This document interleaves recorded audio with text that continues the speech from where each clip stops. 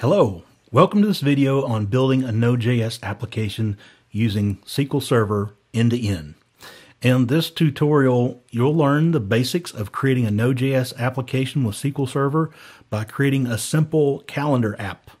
To give you an idea of what you'll be creating, your application will be a simple event calendar that, that uses Vue.js and Materialize CSS on the front end, secured with a login to allow new users to register for their own account, and the front end will communicate with your secure API to create and delete events. I'm excited to step you through this project, so let's get started.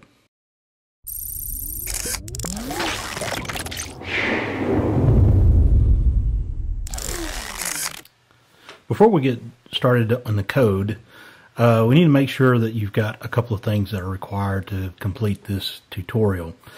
First is you need to have Node.js installed. And you can check that in a couple of ways. One is to open up a command prompt or terminal, uh, depending on what operating system you're using, and type in the command node-v. And this should print out to the console the version of Node that you have. If you get an error message or if the version of Node that you have installed is below maybe version 10, then you're going to want to install an updated version. And you can do that by going to nodejs.org and clicking on the big green download button. If you're on uh, Mac or Linux, or if you're using the Unix or Linux um, uh, subsystem for Windows, I highly recommend that you install NVM, and that is the Node Version Manager. And it, this gives you a command line option, and it makes it so much easier to work with uh, upgrading Node and uh, being able to install multiple versions of Node. Like on my system, if I do NVM ls, I see that I've got uh, version 12 and version 13 installed, and I can switch easily from one to the other. And I can also do upgrades. Um, the other thing that you need to have installed or access to is SQL Server. And um, if you have access to a development instance of SQL Server, that's great. Uh, if you need a local instance, then there's a couple of ways you can do that. One is if you're on Windows and you're comfortable with installing something like SQL Server, um, you can go download the um, uh, SQL Server um, Developer Edition. I used to use this a lot when I was developing uh, .NET applications on Windows, and uh, it works fine. It's got all the all the features that you can possibly need with SQL Server. But if you're on Mac or Linux, or if you don't want to um, mess with uh, installing a a, a complicated server application like SQL Server, then you can use Docker. If you don't already have Docker installed, you can go to docker.com and and go through um, the uh, options to find Docker uh, to download. Uh, there's a free community edition that, that works fine, uh, and that's what we'll be using in this tutorial. And um, so I'm going to step you through uh, how to install Docker or how to install SQL Server using Docker. So the first step is to uh, make sure that Docker is running. So if you got Docker, um, you should have some uh, uh, commands that you can use. Um, and it appears that I do not have Docker running. I recently uh, upgraded my my system, and so Docker is uh, needs to be installed. All right, so I've got to install it too. Looky here. Let me uh, let me install this real quick, and then uh, I'll get back into the video.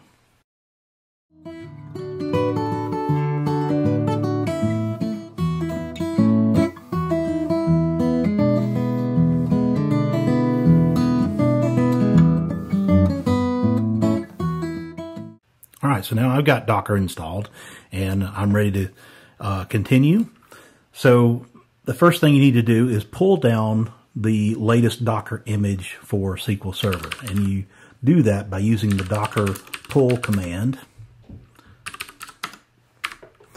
And the full command is docker pull Microsoft slash mssql dash server dash Linux colon 2017 dash latest.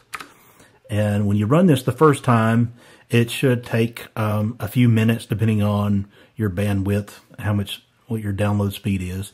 It'll download the image and uh, you can run this again anytime. And, and if there's an update to the image, it will download the latest version. Once you have the image downloaded, then you need to create an instance of that image as a container and use the uh, the docker run command for that. Uh, the docker run command in this case is going to be um, dash D to create a background uh, daemon um, uh, so that the server runs in the background all the time uh, without having to have Docker running or without having to have this running in the terminal. Uh, we're specifying the name of SQL Server so that um, you can easily start and stop by using the name SQL Server. Um, and then there's some environment variables that we have to pass. Uh, one is the to accept the EULA, uh, and the other is to set the uh, password for the system admin account. And you can change that to whatever it is that you you want to change that to. Uh, we're setting the the SQL uh, product identifier to the developer edition of uh, SQL Server. And then we're mapping some ports. So by default, SQL Server runs on port 1433. And so we're mapping our local 1433 to the containers 1433. And then finally, we're uh, specifying to use the image Microsoft SQL Server Linux 2017 latest as the uh, uh, image to uh, create this from. Um, I already have a, uh, container named SQL Server, um, so it's given me an error. I could back up here and, and give this another name and create a second instance of SQL Server, but I'm I'm not going to do that. All right. So, but I do need to start it. When you run uh, or do Docker run, it's going to um, uh, start that server automatically after it creates it. I need to actually call Docker start SQL Server. And now my SQL Server instance is running as well. Now, um, next thing we need to do is to create our SQL Server database and um, you know create uh, some a table and seed some data into it. Um, to do that, I'm going to use a tool called Azure Data Studio. Um, you can do actually do this from inside Visual Studio Code if you're using that as your editor. Uh, there's a plugin for it. But I'm going to show you real quick how uh, where to go look for that. Um, so if you search for um, Azure Data Studio, you should land on this page, and you can uh, find instructions on on an installer for your operating system if it's a zip file or an installer for Windows. Um, so download this application if you don't already have it and install it and then we'll get started on the next step.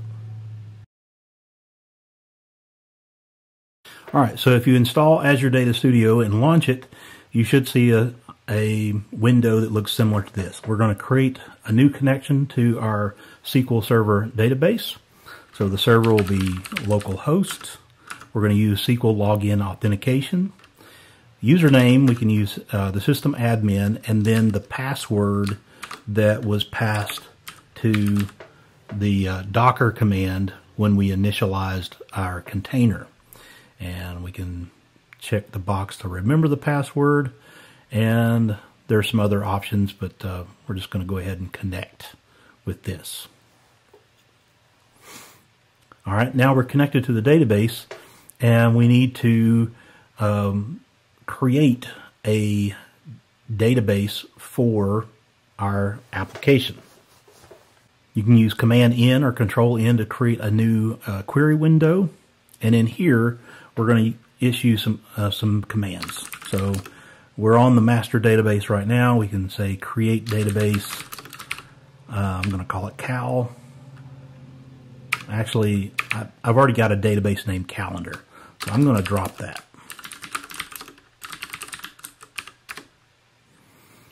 And F5. Don't do this in production, right? This is, we're, we're able to do this because we're in development. So now I'm going to, this is the, uh, this is the command I want you to run. Create database calendar, go, press F5, that's executed the query, and now you can change your uh, current database to calendar. So now inside, you know, make sure that you are in the calendar database. You want to double check, say use calendar and, and press F5 and that will switch your current connection over to the calendar database. You don't want to do this on the master database. So now we need to create a, a table for our um, calendar events.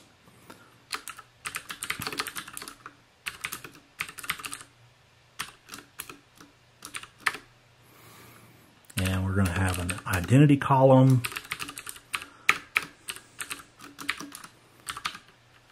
that just automatically increments. And we're also going to specify this is the uh, primary key for the table. And uh, this value cannot be null. We're going to add a user ID nvarchar 20, uh, 50, and it cannot be null. A title.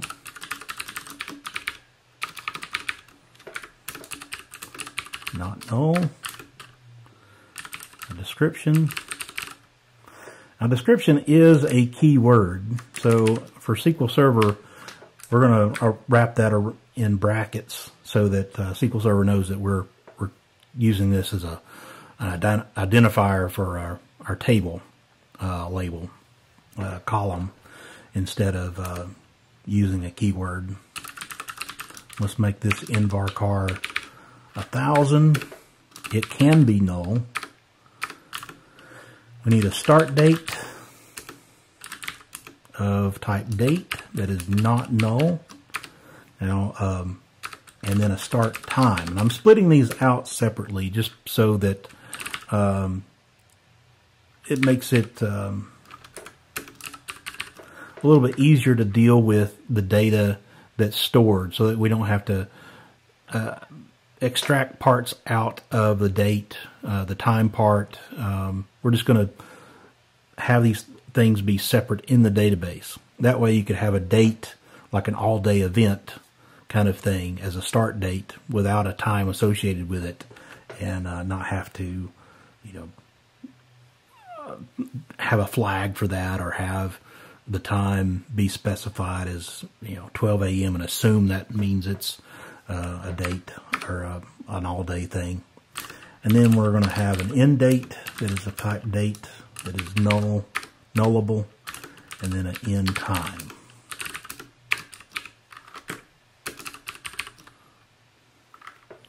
We're also going to want to go ahead and add an index for this table. I mean, it's overkill for a, a tutorial, but I, I, want you to know that you can specify indexes at, when you create a, a new table um, using it. You, know, you can name it whatever you want to, but I always like to have a convention of IDX for index, the name of the table and the name of the columns that are included in that index. Um, I just know ahead of time that we're going to do some queries based on the user ID and SQL Server uh, likes to have some hints or likes to have indexes for performance for performance uh, that'll make this much better down the road. All right, we've got our our full create table command here. We'll press F5 or you can go up here and press the run and now the table is created. If I try to create the table again, it tells me that there's already an object named events in the database. If you want, you can specify, uh, like if you have some uh, some uh, DDL um, type statements, like if you have a, a script file that, that, you may want to put in production, like uh, or a migration file, you can do things like drop table if exists events and run that. I mean, um, just know that if you have that in there, then it's going to it's going to drop that table. So that if there's any data in that table, um, it's it's gone. And this is good uh, or useful in development when you want to just start over clean with a fresh copy of your database with with all the tables that you might create. All right, we're through setting up a SQL Server. One more step. I want to go ahead and add a couple of rows in here that we're going to um, want some data to play with later on in when we're setting up the application.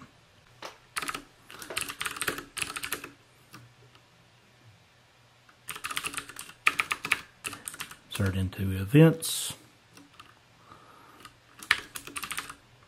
user ID, title, description, start date, start time.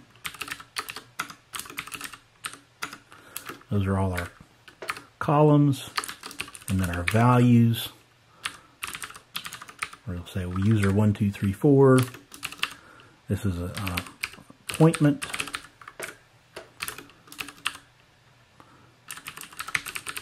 Description stuff. And our start time is going to be, um, our start date will be uh, March 31st. And time will be 2.30 p.m. And the end will be, we'll just say null and null for the end date and time. Uh, let's go ahead and add a second row. Same user, one, two, three, four. We'll say it's an online conference. Uh, no description. This will be on, we'll start on April the 1st. There's no start time and we'll end on April the 2nd. No end time. So now if I run all of this, it, will recreate the, uh, the table for me and also um, insert two rows into this database. Now we've got the database set up and ready to go. Let's dive into some Node.js code. All right, switch back over to your terminal or command line, and we're going to set up a, a directory for our project. Um, change to whatever directory that you you store your your projects in. Uh, for this demo, I'm going to create something in my project demos folder. So make dir node, call it whatever you like, and then change to that directory. And the first thing you need to do when you're setting up a Node.js project is you need to initialize uh, that folder. Use the command npm init dash y if you want to accept the defaults. If you don't specify dash y, then uh, Node will prompt you to answer several questions about the name of the project and your contact information and and uh, the license and so forth. All these things um, can be you can set these defaults using the npm command. So if you go search for npm init defaults, you should be able to find um, how to set the defaults for things like the the version and uh, the author and, and the type of license you want to have for every project going forward. All right, so now basically what npm init does is it creates this package JSON file for us, uh, gives us a starting point for adding the dependencies that we need for the project. Uh, when you use Node.js, uh, there are lots of great frameworks that you can choose from to build web applications. Uh, Express is one of uh, is probably the most well known and, and, popular. In this tutorial, I'm going to use Hapi. Uh, it's my personal favorite. And it was originally created by Walmart engineers, uh, suitable for building APIs and services and complete web applications. So in this prompt, we're going to run npm install hapi, hapi. Now it's going to download some dependencies and, and get that, uh, that first hapi instance set up. Um, uh, you may want to specify uh, just to make sure that if you're watching this video and um, maybe it's sometime in the future, uh, just for compatibility, you may want to specify uh, add it on to the end at 19 just, just to lock down a particular version of, of Hapi in case there's a breaking change in a later update that doesn't work with this uh, the code in this video. So hapi, hapi at 19. The other thing that I like to do when I'm setting up a new Node.js applications is to use uh, ESLint. ESLint's going to alert me to common mistakes, uh, JavaScript issues, errors, uh, things that could cause me pain um, if I don't uh, like um, initialize my variables or, or something like that.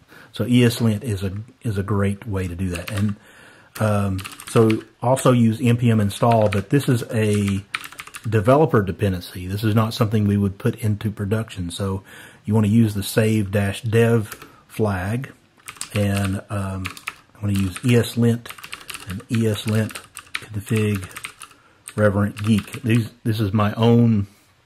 Um, you don't have to use this, but this is my own like collection of ESLint rules that I like to have uh, that helps me to format the code consistently and, and some other things.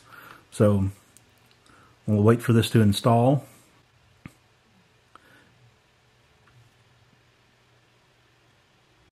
ESLint uh, needs to know what kind of rules to use. So I'm going to create a file called .eslintrc.js and I'm going to put into this code file um, the the set of rules that I want to uh, ESLint to to use when I'm uh, linting my code.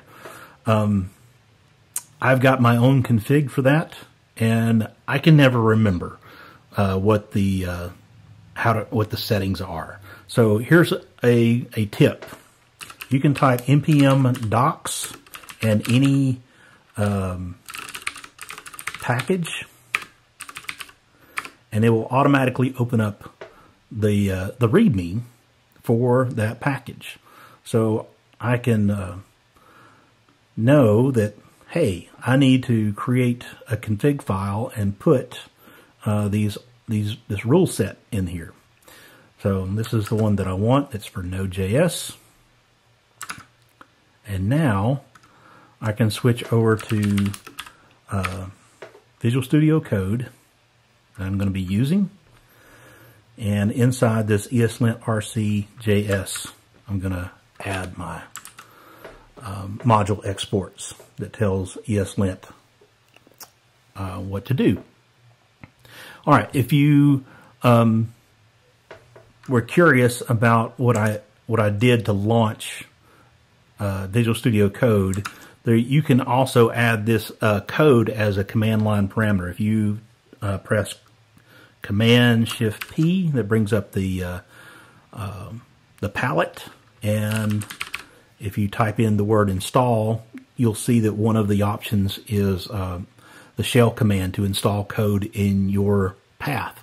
So if you're working from the command line, you can type code anywhere, and it's going to launch that current folder um, in your Visual Studio Code editor. Really handy. All right. So now we've got that. Um, we want to create our first um, Node.js web server with Hapi. Let's create, um, I like to organize my code, uh, uh, everything for my servers under a source folder. So we're going to create a new folder called source. And in here, I'm going to create a new file named index.js. Now you may be wondering uh, why I'm using use strict at the top. And um, because you may know already that in the browser, if you're using any modern JavaScript, uh, if you're using like the imports, exports, uh, the module type settings that you don't have to use use strict if you're using modules in on the front end. But for Node.js, um, modules in the in that sense of using like the import export uh, uh, syntax for for things, um, that's not a yet a default. And if you don't specify use strict, then you're uh, you're not running in strict mode. Whereas in the browser, strict mode is is pretty much guaranteed to to be uh, run all the time if you're using uh, modules. If you're using a transpiler like Babel, uh, it's going to add use strict to the top of all your files uh, automatically. But Node, this is something that we need to do today. So we're going to require in uh, our server module, which we'll create in just a moment. And we need a start server function. Wrap this around a try catch. We're going to create a config object. Specify our host is localhost and port is 8080.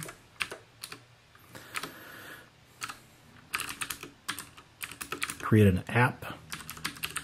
We're going to wait on our server passing in our config. And we're going to await server.start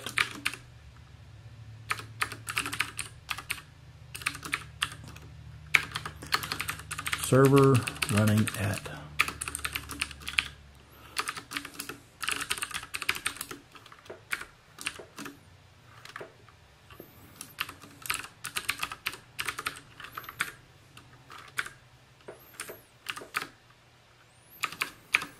And now we just need to set our catch statement.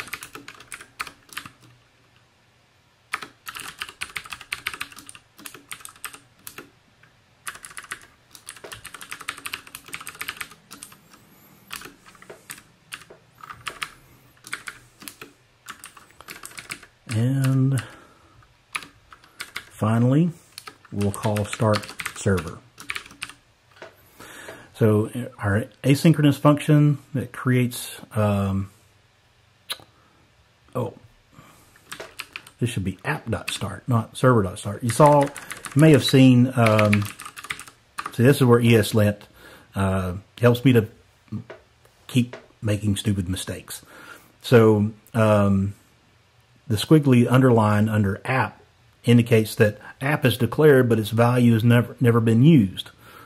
Like oh, well, I put in the wrong thing. It should be app.start. And so now everything goes back to not being uh, read again.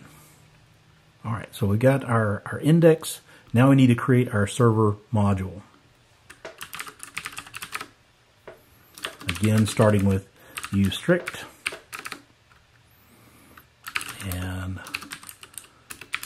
we're going to require in our hapi module.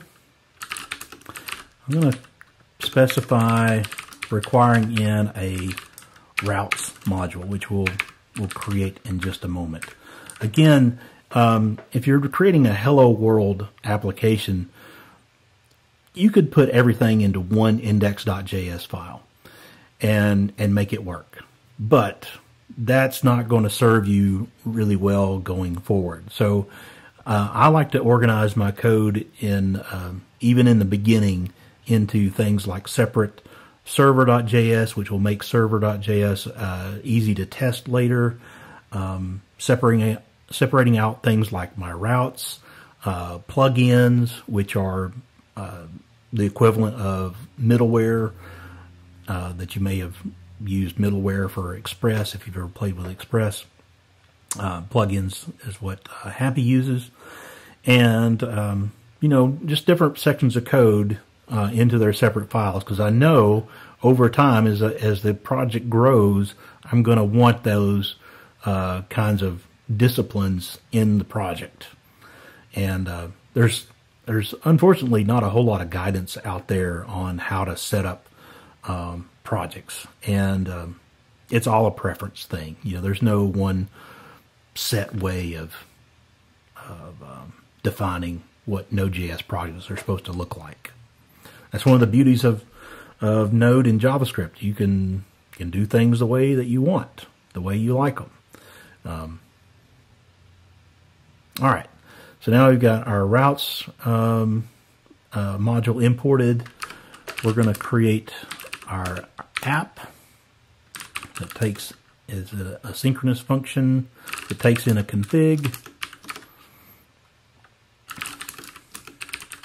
We're going to destructure the host and the port off of the config object and create an instance of our hapi server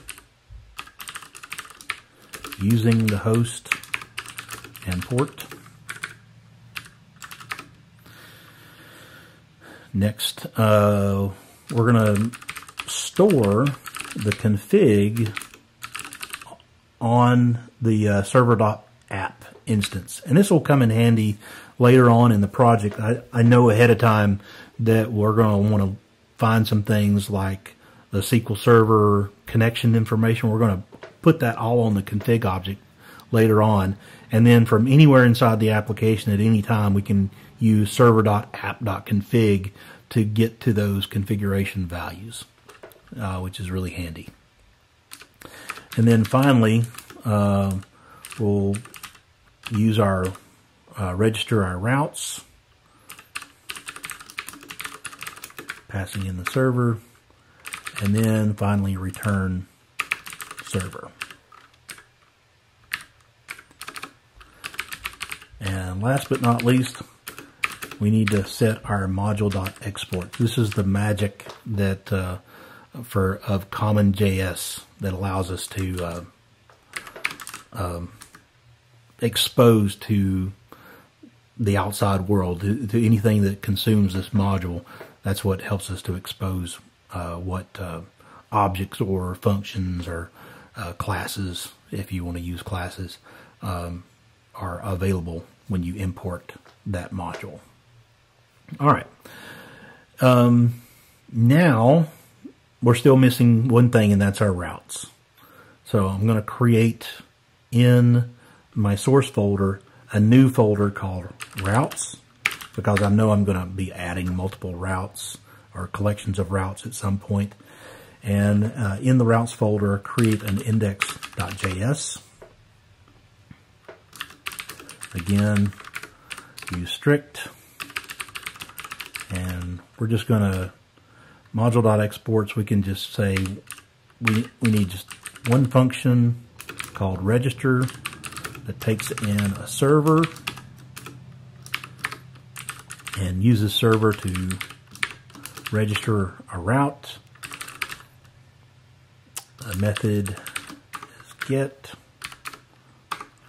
Path is the route. So we're setting up, what this is doing is setting up a, a route that's listening for uh, like the default document. So the um, when you go to localhost 8080 without specifying a, a route name or anything, this is what's going to serve that up.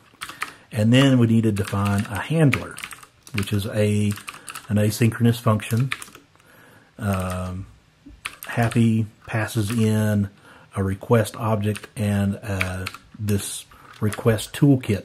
For whatever reason, it, it just call it H. I guess it's short for Hapi, uh, but it's the request toolkit that has lots of things uh, that that are like utility functions and all kinds of cool stuff. But um, we're not going to use either one of those in this hello world type uh, first instance. So we're just going to return the text, my first hapi server.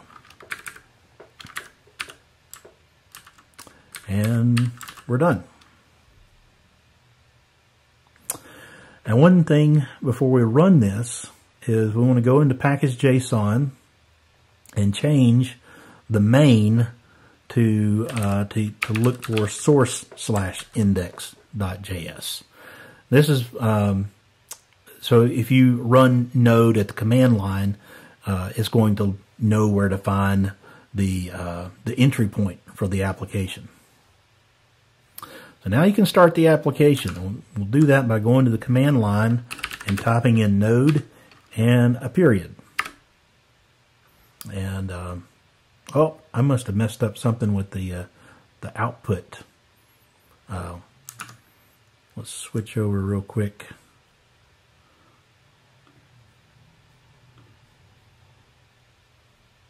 Uh, I forgot my dollar sign.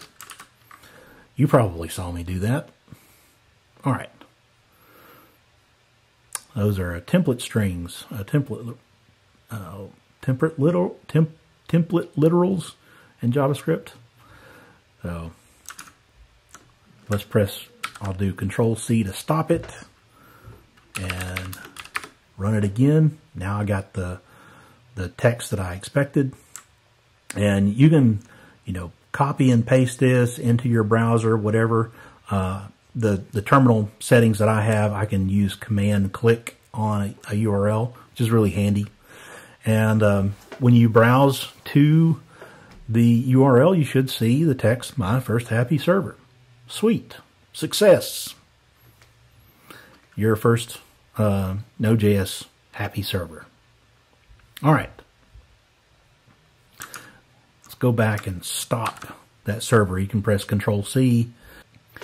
Now, before we get into writing code to interact with SQL Server, we need a good way to manage our application's configuration, such as the, the SQL Server configuration or SQL Server connection information. Node.js applications typically use environment variables for configuration. However, managing actual environment variables can be quite a pain, especially if you're on a on Windows.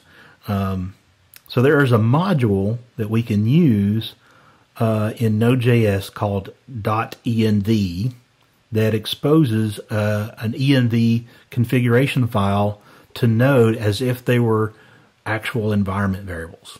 So uh, for us to get started on this, we need to install uh, dotenv as a dependency.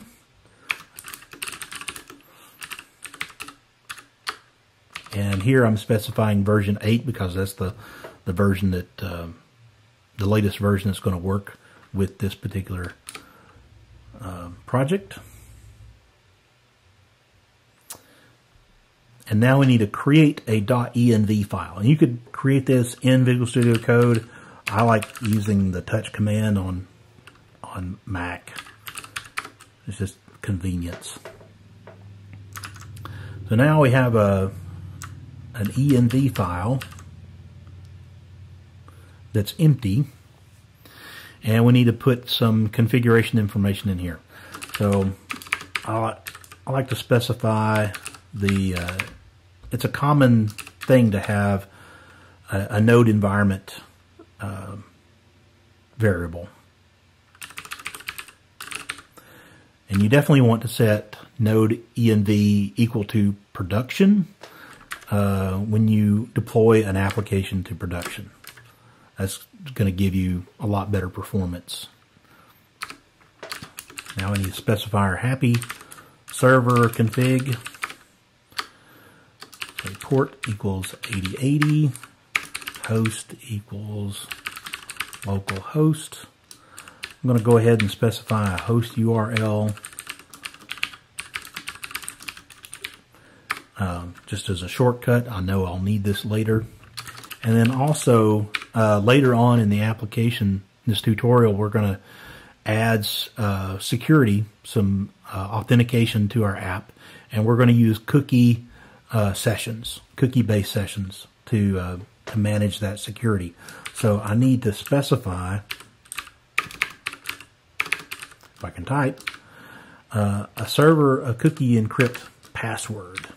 And this can be this can be whatever you want. You can be just a big long string of gibberish. You want something that's that's secure. Uh, it does need to be at least 32 characters long. So I'm just going to call it my super awesome password string that is at least 32 characters long. Change it to whatever you, you want. And now we need some SQL uh, server config. We need to specify our SQL user is um, in production, you're definitely going to have different credentials set up for uh, your application. So you you do not ever use the system admin account in production, but for development, um, we can we can get away with it.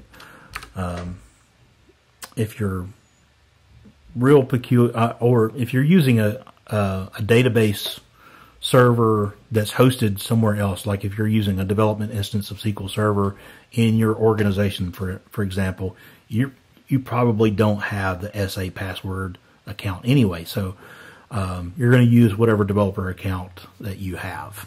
So specify that.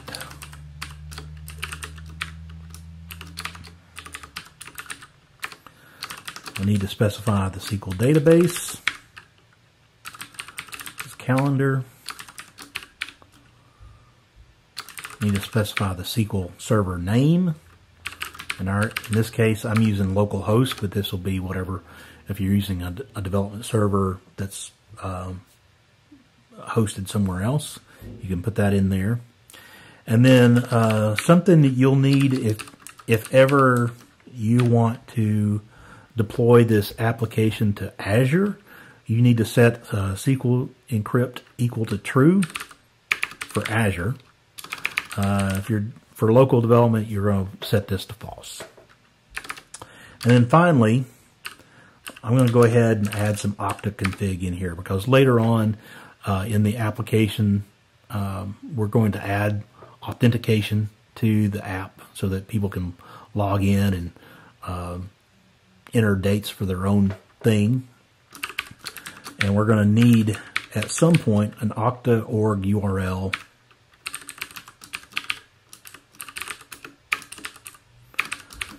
and an Okta client ID.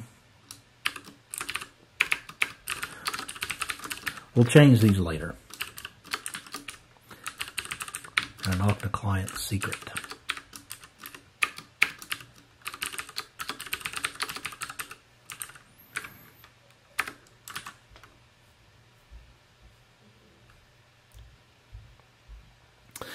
Another thing to point out is that um, if you're using a source control system like Git, you do not add this .env file to your source control.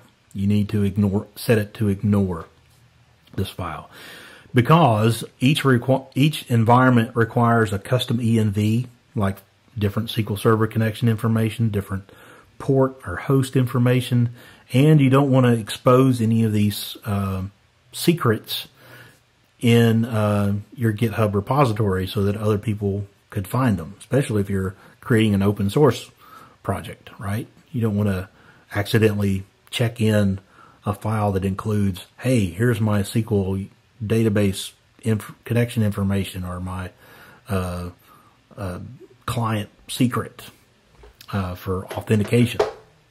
Now, typically, what um, open source projects will do is create a, a separate .env sample file that includes placeholders.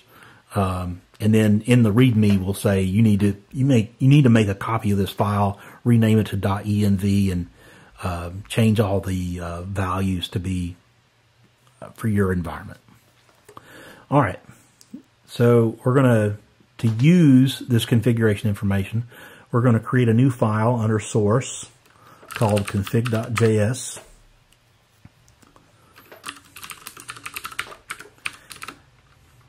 And we're going to pull in our dotenv module.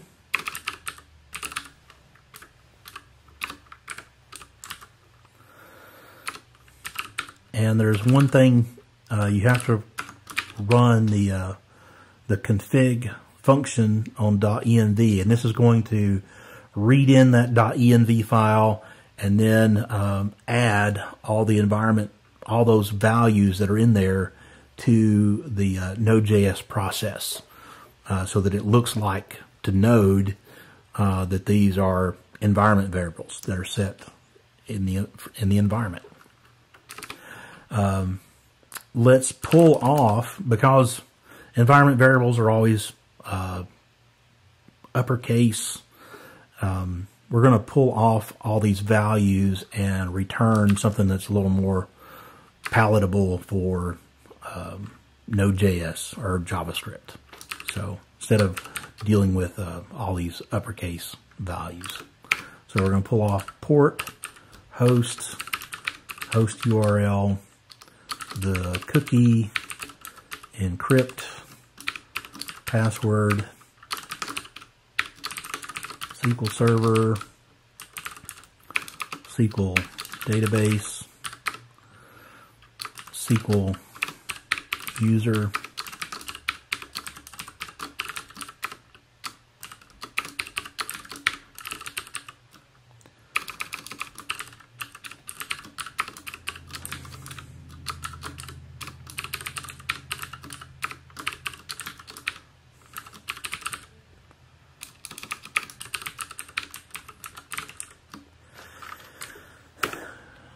pull those off of the process.env, um, which is uh, Node.js's built-in uh, environment. That's how it exposes environment variables uh, inside the, any Node.js application. We're going to check our SQL encrypt value.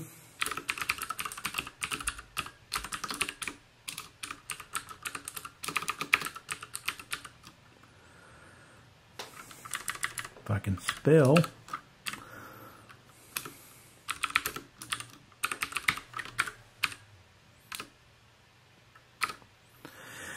And now we'll um, export all this configuration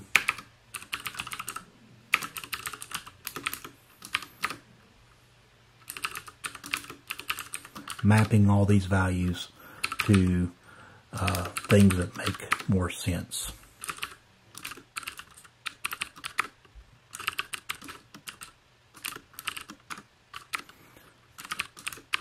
So like SQL, we'll create that as a, a separate, like an object within the object. This will make it easier late down the road.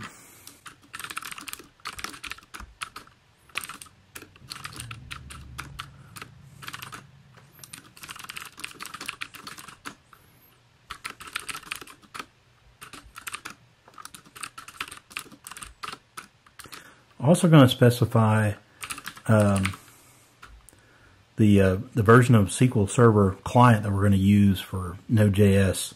Um, it's currently requiring uh, to set ena enable arith abort either true or false.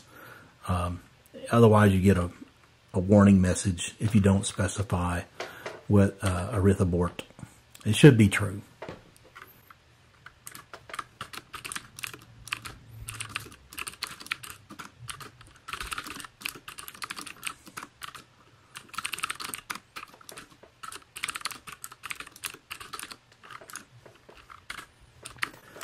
One other thing I want to pa uh, pass on is, is, a good tip.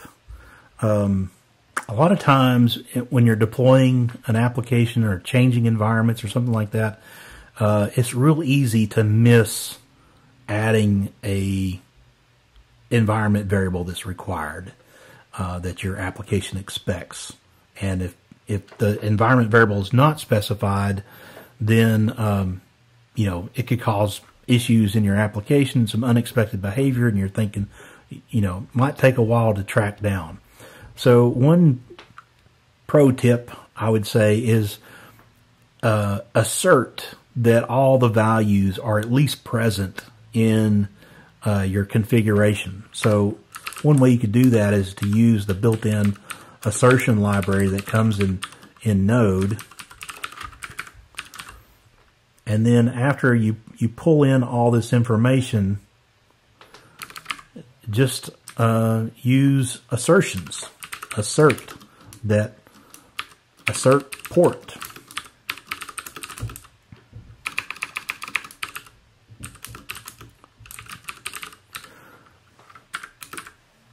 And just duplicate this for every um, every required environment variable. In the case of this application, every environment variable is required for this application to work like it's intended.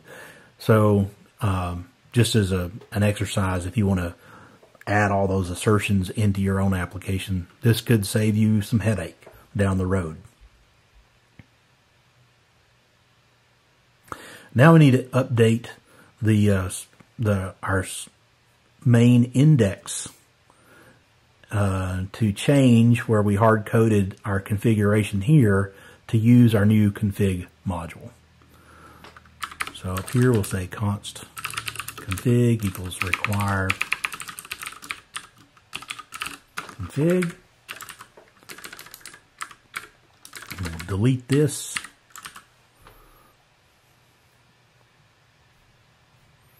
And now we can just pass the config into server. Now we can get to the fun part. In this step, you're going to add uh, a route to Hapi to query the database for a list of events and return them as JSON. You're going to create a, a SQL Server client plugin for Hapi and organize your data access layer in a way that will make it easy to add new APIs uh, in the future. So first, we need to install some dependencies. The most important being the mssql package.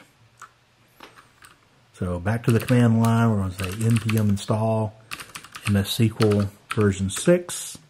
And um, also in this step, we're going to install fs-extra version 9. fs-extra is, or FS is the uh, built-in Node.js library for file system, like for reading and writing files.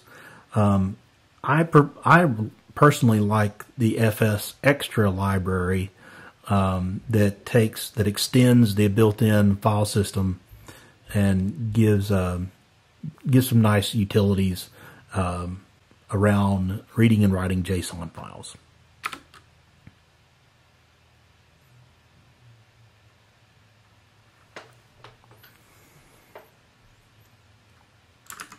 Back to the project, we're going to add our uh, data access layer. So under source, let's create a new folder named data.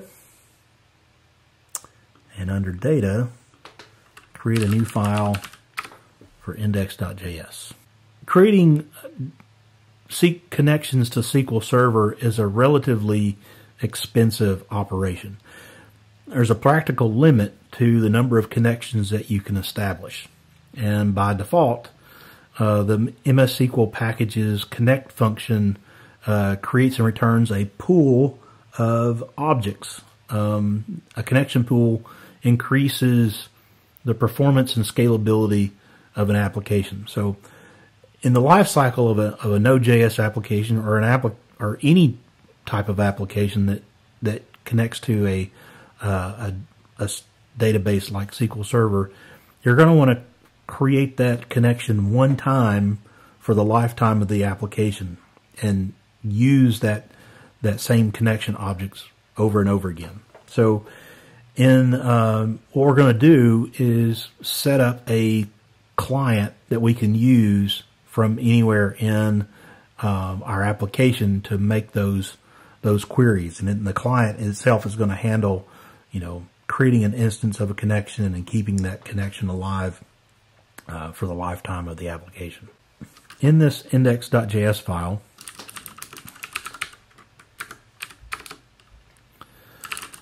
we're going to uh, require in um, an events module that we'll create in just a moment.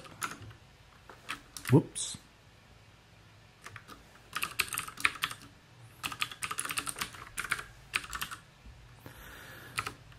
And we'll require in um, the mssql module. And we're going to create our client function, which is an asynchronous function that takes in the hapi server and our hapi config. And we're going to uh, initialize a pool object. This is how we're going to keep that connection pool around. And we'll create a couple of internal functions on this uh, client. One is close pool. So when the application is shutting down or for whatever reason needs to close the connection pool, it can do so.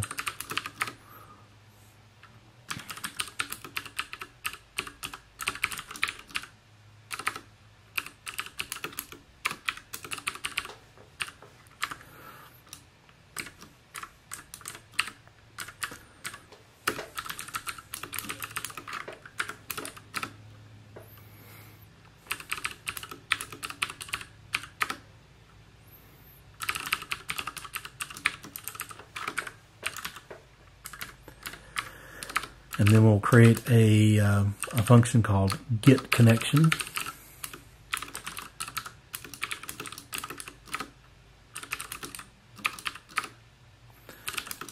Check if pool already exists, then uh, return it. But if um, this is the first time uh, this connection uh, has ever been created, then we'll um, create a new con connection pool. We'll set pool equal to await SQL.connect.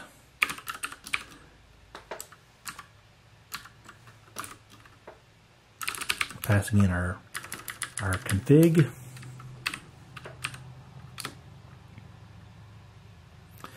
And then we'll we'll check if on error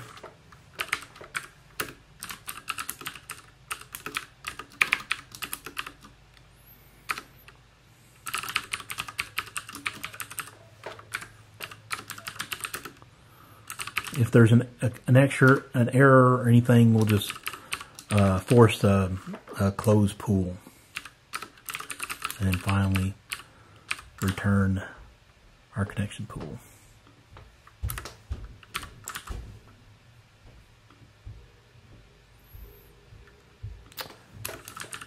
And if there's a an error error of any type that's unhandled, we'll also console log this to the console and uh, set the pool equal to null just to be safe.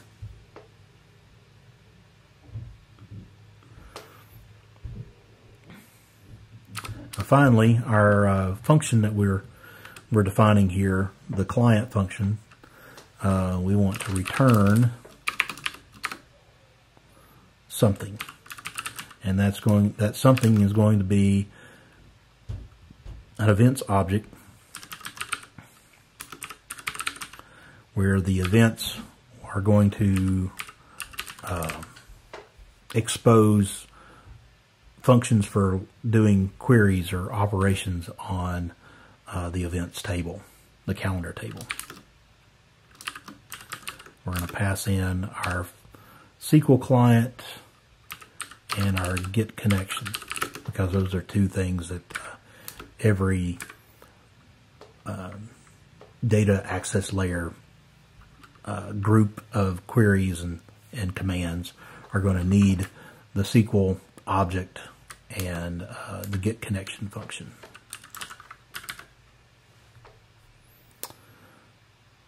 And then finally, we need to export the client.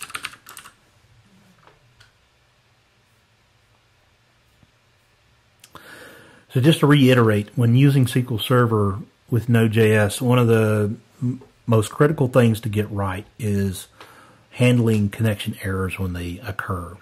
And internally, this uh, SQL data module has two important functions that we've, that we've talked about, get connection and close pool. The get connection returns the active connection pool or creates one if necessary. And when any connection errors occur, the close pool makes sure that the previously active connection pool is disposed to prevent the module from from uh, trying to to uh, to to continue to reuse it. All right, so under the uh, source data folder, let's create a, a, a new file called utils. And in here, I want to add some code that's going to help us to uh, uh, read in a bunch of uh, query files. Uh, we can define uh, SQL files um, as external .SQL files and read those in when the application loads.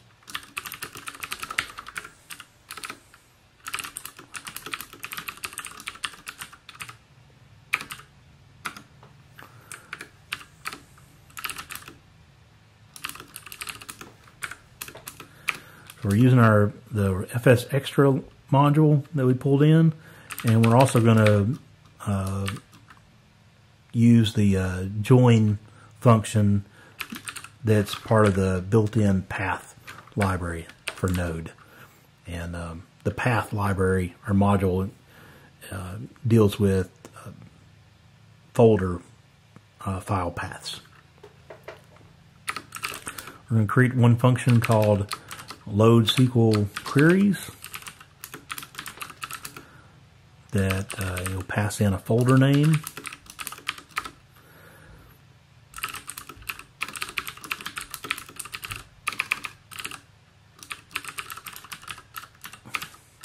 We use the process current working directory and we'll say in the source folder under data look for this folder name by convention. And then um, get a list of all the files that are in this folder.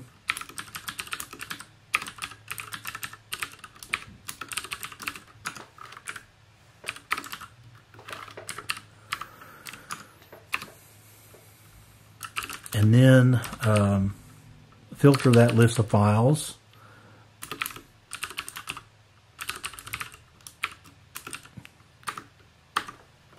be only files that end with the um, .SQL extension. And then uh, let's initialize a, uh, a queries object. And then we'll loop over uh, for const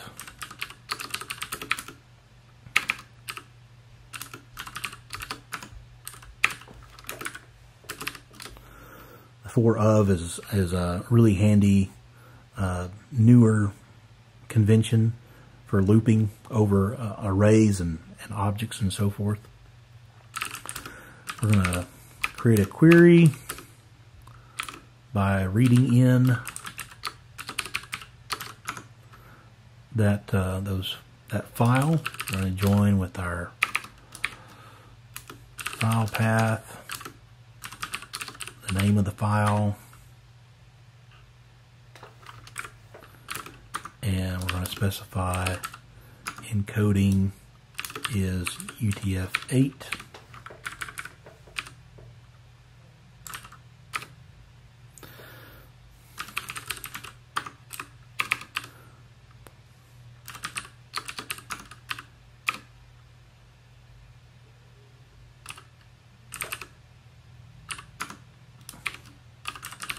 remove the, uh, the SQL extension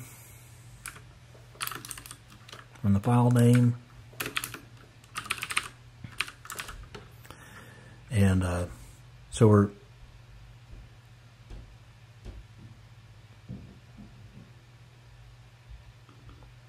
we're creating a property on this queries object that's set, that specifies um, uh, for instance, maybe we have a, a, a, query file named get event. And so queries.getEvent without the SQL connection is going to be equal to the contents of that get event.sql file. And finally, return queries.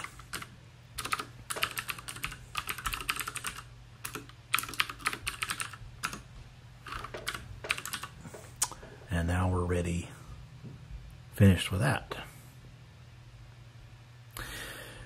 So, let me back up and explain again. It is possible to embed uh, SQL queries as strings in your JavaScript code. But I believe it's a better practice to keep your queries in separate SQL files and load them at startup using a utility like this. Uh, this utility module loads up uh, those, all the SQL files in a given folder and returns them as a single object.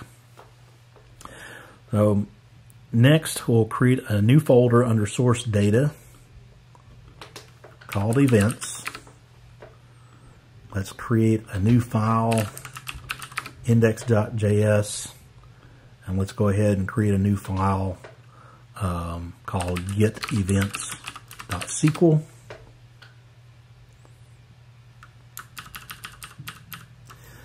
In uh, the index file,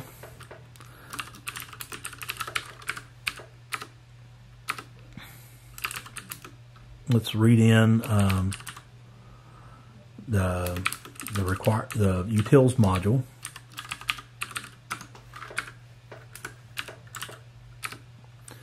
And let's create a register function that's going to initialize all this. Uh, we're expecting a, a SQL connection, uh, a SQL object, and a get connection function um, passed in. Um, first, we want to read in all those SQL files. So let's say SQL queries equals await utils dot load SQL queries and uh, passing in the folder name of events. And let's create a um, a get events function.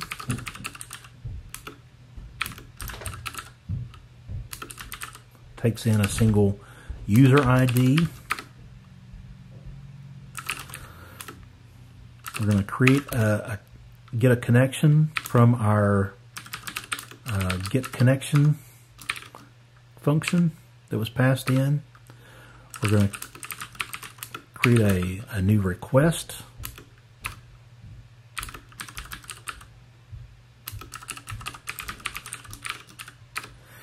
In the request, we're going to define our our query parameters and uh, the, the query that we're going to use. So in this request, we'll say request dot input the user ID. It's a um, varchar 50 type and we're going to use the user ID that was passed in as the value and then we're going to return request.query using SQL queries dot get events. Again, by convention, uh, when this reads in all the uh, query files, it's going to expose a get events because this SQL file is named get events. And finally, um, our register function needs to return a uh, that we're we're exposing get events.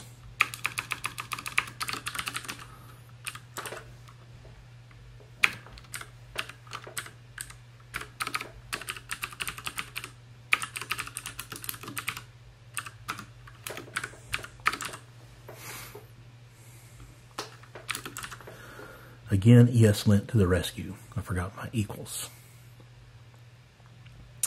And now in this get events SQL file, let's add the query for getting a list of events. So we'll say select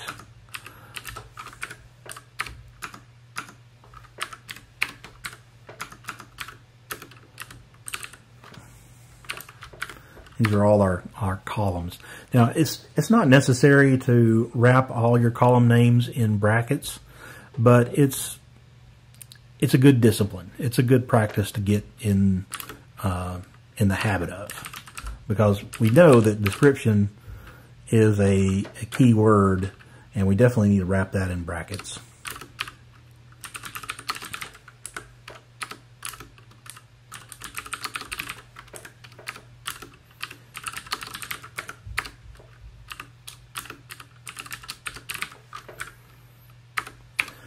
Select those things from the events table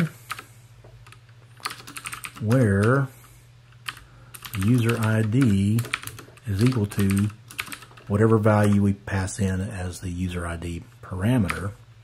And then we'll order these events by start date and start time.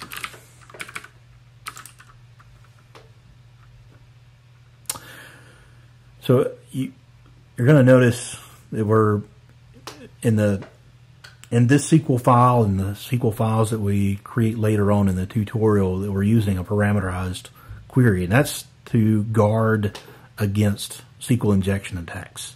You never want to see in any code, whether it's Node.js or Java or .NET or any language, building someone building a, a query string using um, by concatenating strings and values together. Always use parameterized queries. Next, we need to create a database client plugin uh, to make it easy to run those these SQL queries from other parts of our application. So from our routes, we want to be able to uh, initial or get our SQL client and and run a query to return from a particular API endpoint. Um, in other, as I mentioned before, in other frameworks like Express, uh, this concept is usually referred to as middleware, but in Hapi uh, uses the term plugin. So under source, let's create a new folder called plugins. And in plugins, let's create uh, a file named index.js. Lots of index.js files. Um, one of the reasons why index.js is used so much is that CommonJS um, recognizes index.js as a, like the default file in a folder. So it's a it's a shortcut. Um, it, you could name it anything that you wanted to, but when you require in uh, a module that's in a folder, you would have to specify require plugins slash whatever that file name is. Whereas uh, if you have an index.js file, this, you can use the shortcut require slash plugins, and uh, it's going to automatically look for a file named index.js and read that in. So it's just a convenience thing. So in this uh, plugins um, index, we're going to create um, our uh, module. We're going to, um, we're also going to create a, a SQL plugin. So we're going to require in this SQL module.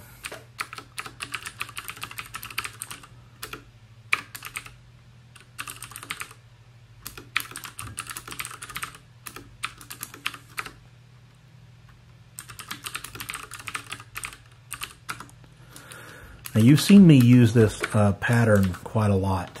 This uh, creating a, a, register function and expose exporting a register function on all these top level folders like the routes and the data plugins. Again, this is just a this is just a convention that I like to use. It's um, uh, with specifically with Hapi, uh, because Hapi uh, also has a um, a register mechanism. Um, so I'm just kind of repeating that pattern uh, in my own code as a convention. Um, there's lots of ways uh, you can alternative ways to to register plugins and routes and so forth that uh, wouldn't require this, but th- this is something I've I've come up with is that uh, as a project grows, there's you'll always know that there's one place to go in any of these folders, like the data folder, the plugins folder, the routes folder.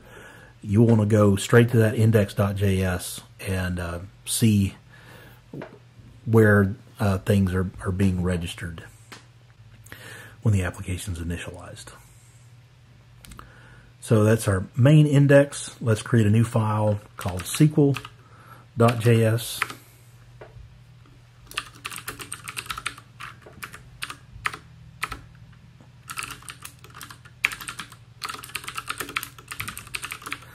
We're going to require in our, our entire data folder. It's going to initialize all, all the, uh, read in the SQL files and do all that kind of stuff. And then um, to be a plugin in the Hapi ecosystem, you have to export a very specific looking uh, object. This object needs to have a name property.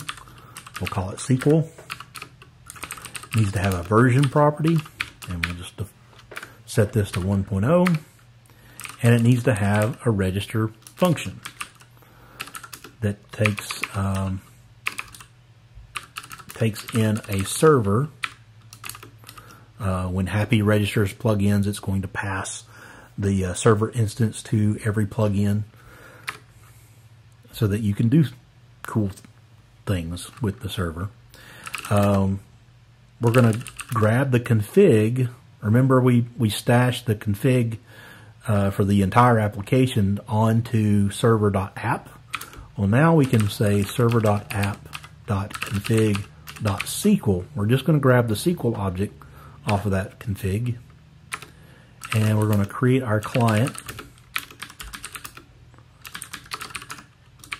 passing in server and the config object, which is just the SQL connection information.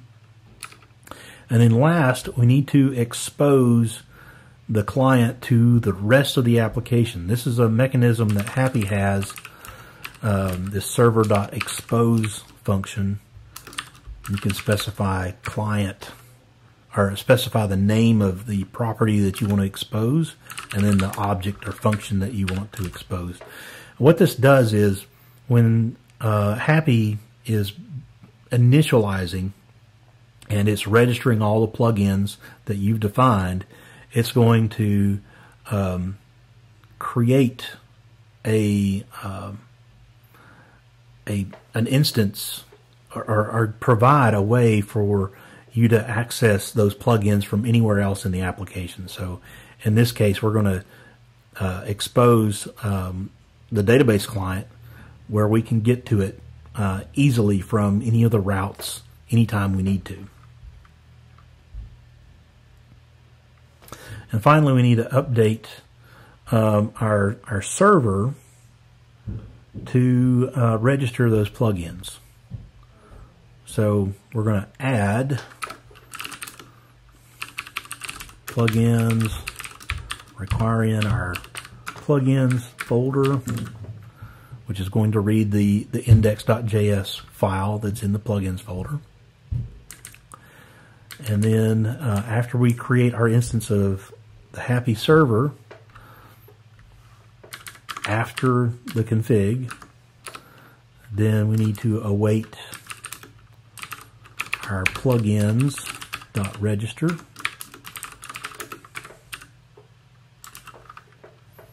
So now our plugins will be properly registered. Well, our next step is to add an API route that'll execute the get events query and return results as JSON. You could add this route to the existing source routes uh, index. However, as an application grows, it's be better to separate routes into modules that contain related resources. So we're going to create a new folder under source routes and close some windows. Uh,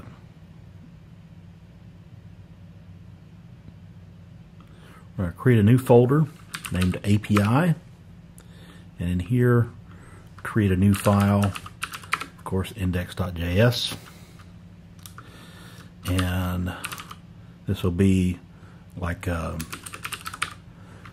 an index.js that, you know, as we add more routes to the API, we could just bundle those all into uh, this, this index.js. So we're going to require in um, our events API module that we'll build in just a second. And then we'll export a register function that takes in the server and runs await events.register.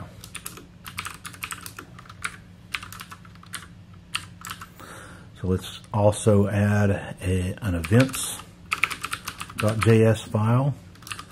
And in here, let's um, export a register function that takes a server per, uh, argument and uses that server to register um, a route. This time the, met this, the method for this is also get. The path will be API events and then we're going to set a config for this um, this route. Um, actually, let's just let's just say handler. Uh, we don't need a, a, config yet, so we'll, say our handler is an async uh, method that takes in a request. And now we can, um, let's wrap all of this in a try statement. Go ahead and finish the try.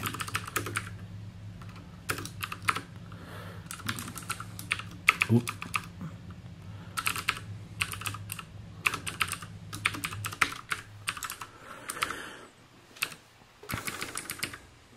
Another tip uh, while I'm here is that um, you don't have to use the console to log errors. Like in production, you probably want uh, an error logging mechanism.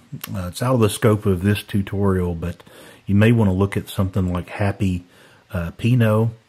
Um, and there's lots of other loggers out there too. Uh, uh, Winston, um, I can't think of any others off the top of my head, but uh, those would be better ways of, of logging uh, errors instead of just uh, logging them to the console, uh, unless in production you have some way mechanism of capturing those console log errors and and uh, capturing those in a way that you can get to them later. But for now, the console log will work just fine.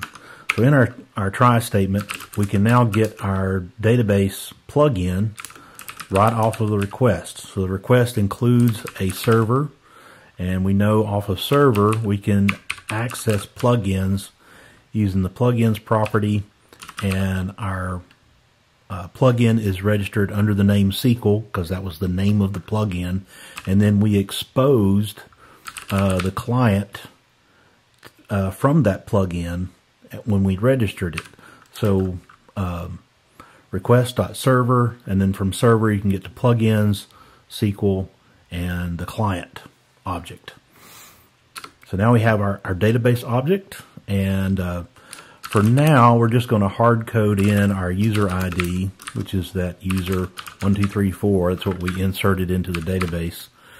And now we can say, uh, let's get a, a await db.events, because that's the uh, the data access layer, as we were building that, we created an events uh, object.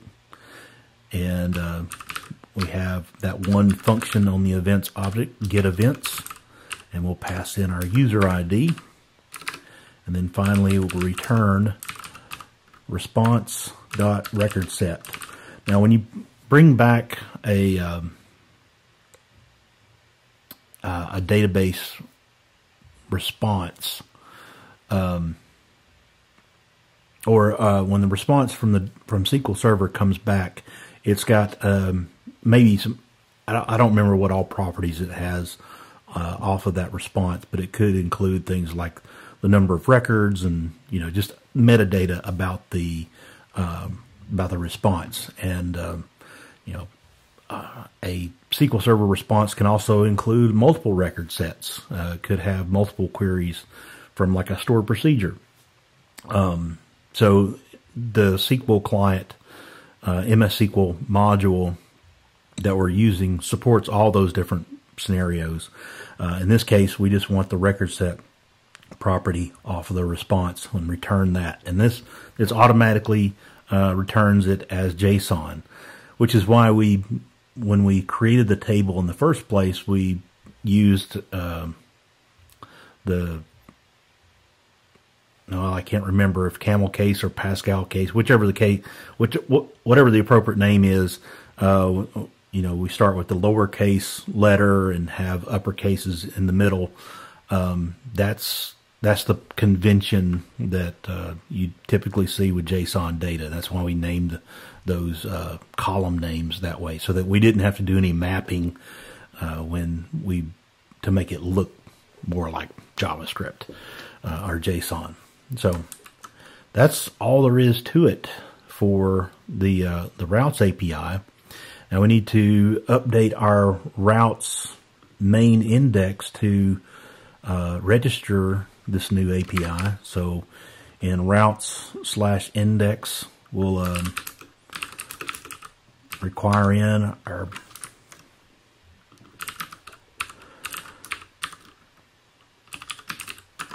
our API folder, which will automatically load that, that index.js. And then in um, our regist register function, we'll await api.register passing in the server.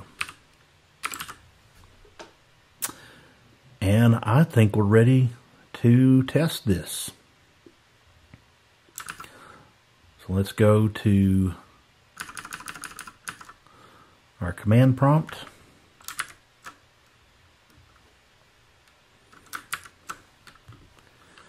And type in node space.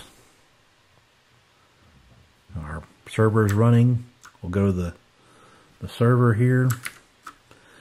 We still got our first hapi server, but if we go to the route slash API slash events, boom, there's our JSON data. Uh, the two rows that we added to our SQL database early on in the tutorial. So we have a, a, a, title of one, or an ID of one, title of appointment, description is description stuff, and so forth. So that uh, that gives us what we expect. Well, now that we got this working, let's get some real users in our application. So manually building authentication and user profile management for any application is, is no trivial task. And getting it wrong can have disastrous results. You don't want to be rolling this stuff on your own. Uh, it'd be better to have a, a security expert at your side. And that's what Okta does. To, so to complete this step, you're going to need a free Okta developer account. And to do that, you're going to go to the, the Okta uh, portal, uh, developer.okta.com, and you can click the sign up button here at the top or the create free account. Uh, this account is always free. It's good for up to a thousand active users per month. Um, really has uh, everything that you could you could need for building um, applications and adding authentication, login, password resets, all, all that kind of stuff. So sign up for an account And then after you sign up, then you'll be uh, at the Okta uh, dashboard. And from here, you want to click on Applications, click on Add Application. We're going to be, we're building a web application, so click on Web, and then click Next. And now you can name your application. Let's call this uh, Node SQL app. The uh, base URIs and, and all these things are already set up as we need them.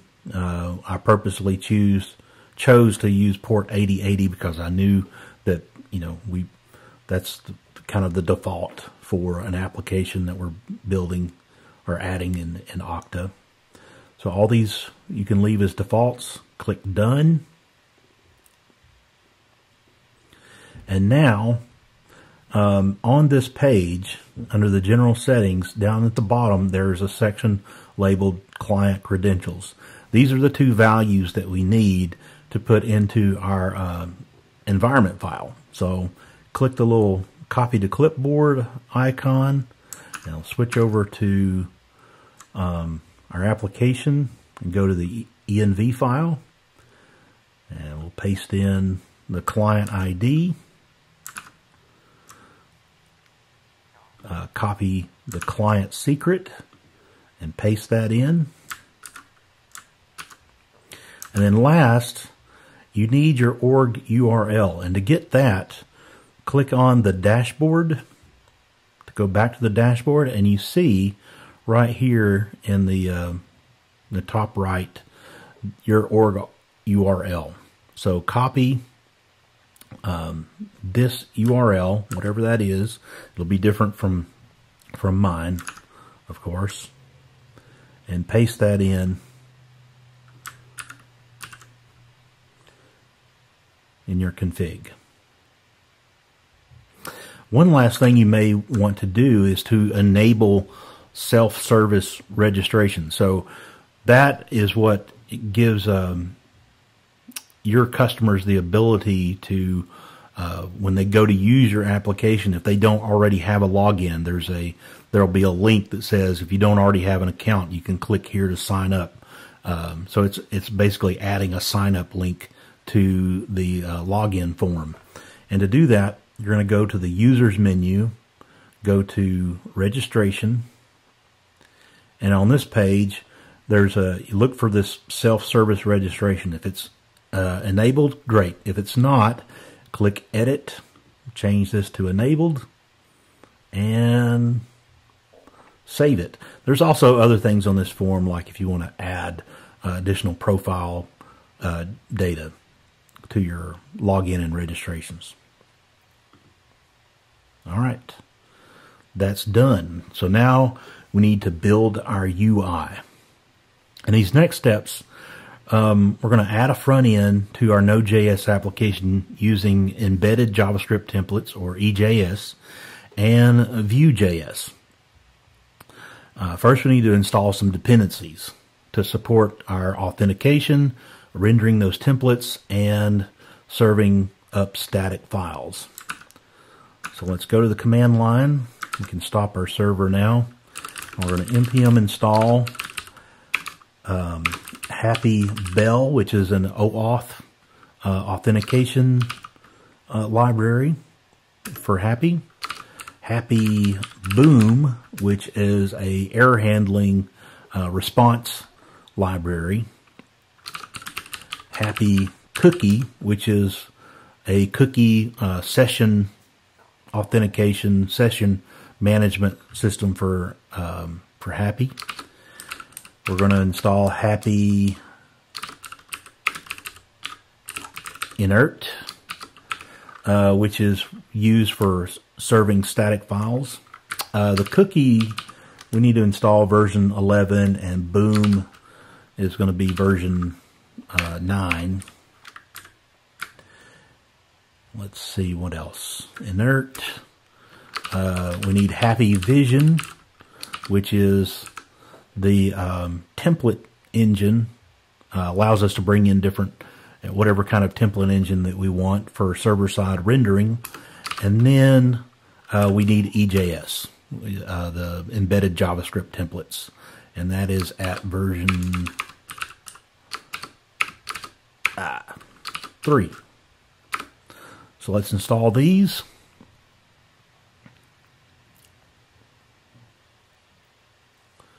And now let's go back to the application and we need to add a um, an authentication plugin for our application. Whoops, I went too far.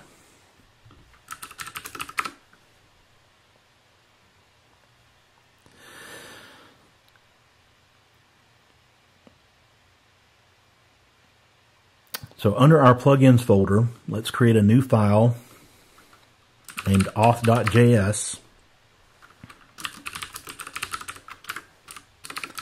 We're going to require in uh, our bell module. Man, I can't type.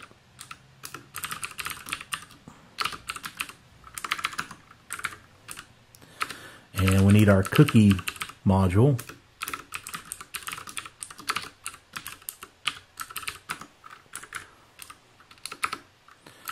and let's check if we're running in secure uh, a secure environment, uh, meaning like uh, SSL, TLS. Um, and we'll just assume that's based on our um, node envi node environment environment variable. So if it's if we're running in production, then we're going to assume that uh, we're also running under using SSL certificates. Uh, otherwise, in development, um, we're just using plain HTTP. So module.exports, we're exporting a, a, a, a JavaScript object, which is our, our plugin definition. So just like our SQL plugin, we have a name property. We're going to call this auth. Uh, version, default to 1.0 and we need a register function that takes in a server, the hapi server, and we're going to await server.register those uh, plugins that we need, the bell and the and the cookie plugin. And now we need to grab our configuration off of the server server.app.config.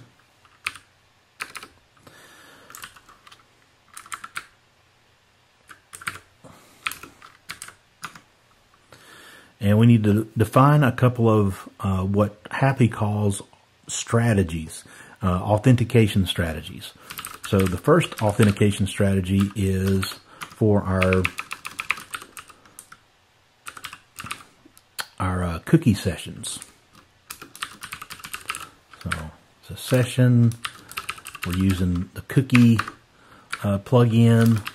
And then the configuration for our cookie plugin is uh, the, the name. We're going to name it Okta OAuth. We need a path. We need to set a password, which is going to be our our cookie uh, password that's defined in the environment file, and then whether or not this is secure. And we need to set our redirect. If if someone's not logged in, we need to redirect them to a, a new uh, route of authorization code slash callback.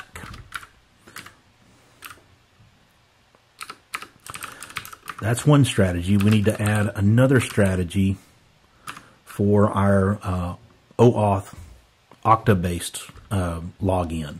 So everything else in the application is going to be using session cookies. Uh, if the session cookie is not there, it's going to redirect to um, to the Okta authentication strategy, which will trigger a an Okta login. So in here, we're going to call this strategy Okta, which uses the Bell plugin and the configuration for this plugin. The provider is Okta. Config is um, we need to specify the URL URI for um, where to go uh, when the person needs to log in, and that is specified using our Okta URL in our config.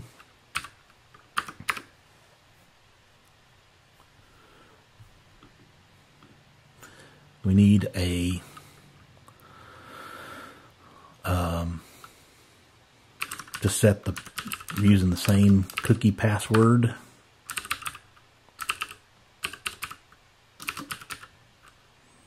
Which I just realized did not spell that correctly up here. Also specifies whether it's secure. The location is our config.url, which is in our environment variables set to localhost colon 8080. And we need our client ID, which comes from our environment variables under config.okta.clientID and the client secret.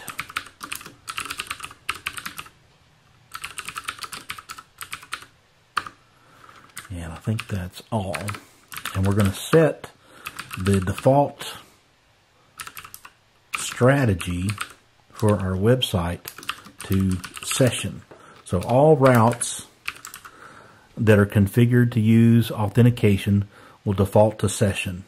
And if the person using the website is not logged in as a session and that route requires authentication, then they'll be redirected to the uh, the Okta strategy, which will log them in, uh, set them on the flow of, of logging into Okta or registering with Okta if they don't already have an account.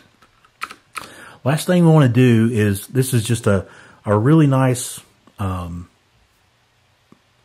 uh, this is it's kind of like a bonus tip uh, of using Hapi.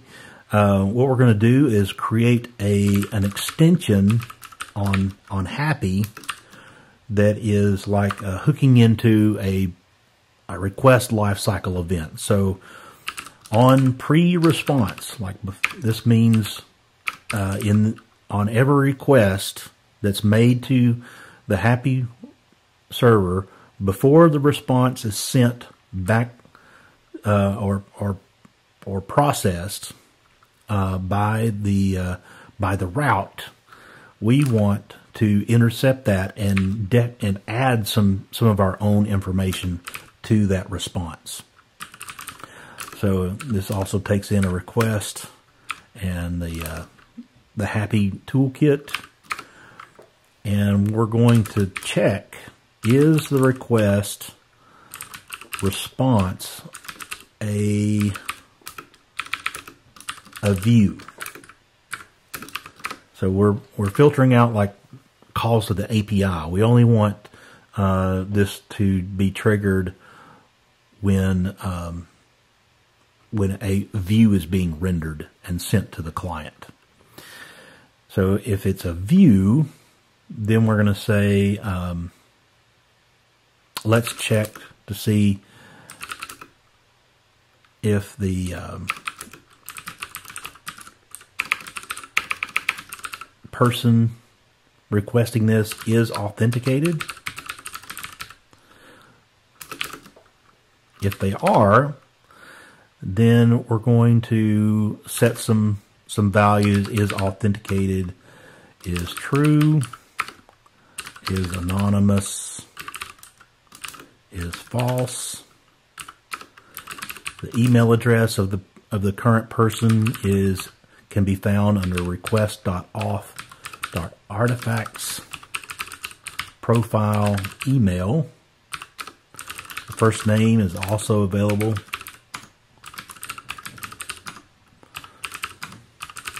That's first name.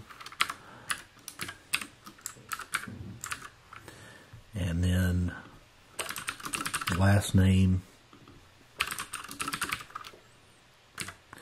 And if they're not authenticated, then we want to um, say is authenticated is false, is anonymous,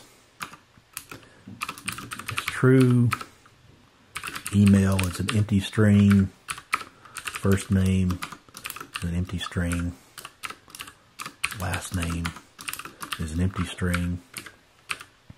So there's our auth object, and we want to decorate the response,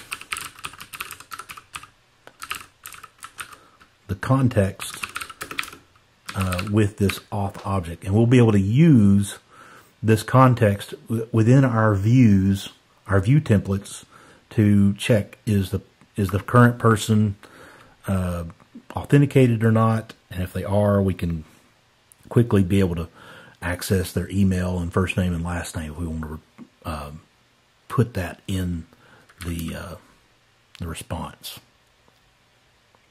And then finally, after all this, we want to return h dot continue. So this is just part of the the life cycle of a response. Now we need to update our plugins, uh, index.js, to register our auth plugin, as well as the other plugins that we've recently brought in, like the like the EJS uh, templates. So in here, we're going to require in EJS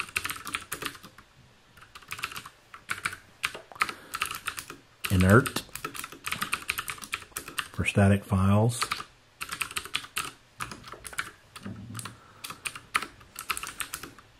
Vision for our template engine support.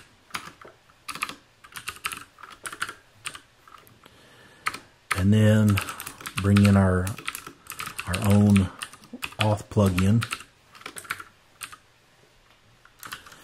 And now let's update our register function to not just register one, um, well, let's see. Instead of just registering the SQL function, we'll register an array of objects, which will be our auth, the inert, vision, and SQL. And then we need to configure our server view engine. So we'll use we'll do that by saying server.views and our configuration the uh, engines we're using, we're only using one, EJS, is relative to, this is the path to, to where to find these templates. And um, we're going to use the built-in under, underscore underscore dir name, uh, which is just a, a built-in Node.js shortcut for getting the, the current directory of the uh, the application and then the path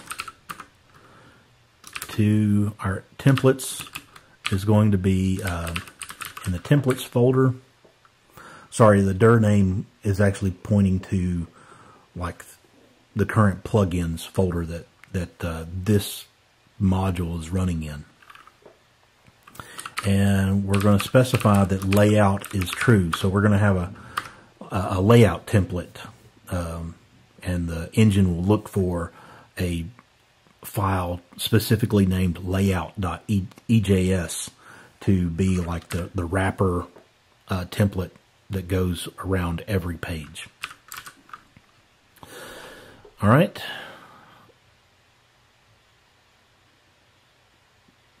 So let's add our, our server templates. Uh, under the source folder, create a new folder named templates. And we'll create that layout file, layout.ejs. And I'm going to just copy in some code here and walk you through what this looks like. Some, so HTML code, um, we got a doc type, HTML, a head um, that includes uh, a title. So this title is using uh, some EJS syntax to when when it renders on the server, it's going to look for some data that's passed to this view um, that includes uh, a title uh, value, and it's going to inject that into the title tag. Um, we're setting or we're referencing a, uh, a material icons font from Google, and we're specifying that we're uh, using an index.css file, which we'll add in a, in a moment. We're including a uh, navigation partial, so this is a way of injecting yet another template into the current template, and then our uh, our content. So all the other templates that are using this layout, this is where this content will go. And then we've got a script tag here at the bottom that includes an index.js, which we'll also add in a, in a little while. So we need to uh, next add a new template for our home page, index.ejs. And again, I'm just going to copy in a whole bunch of um, code to save some time. And in this container, um, we're using a container class, so we're going to be using um, material um, CSS as like a CSS framework. So our class is container if um, the current user is authenticated, then show them uh, render this app div. If they're not authenticated, then render a header with a, a message and a login button. Um, so depending on if they're logged in or not, it's going to change the way the, the page is rendered. And I jumped ahead. I copied in too much stuff. Way too much stuff. Whoops.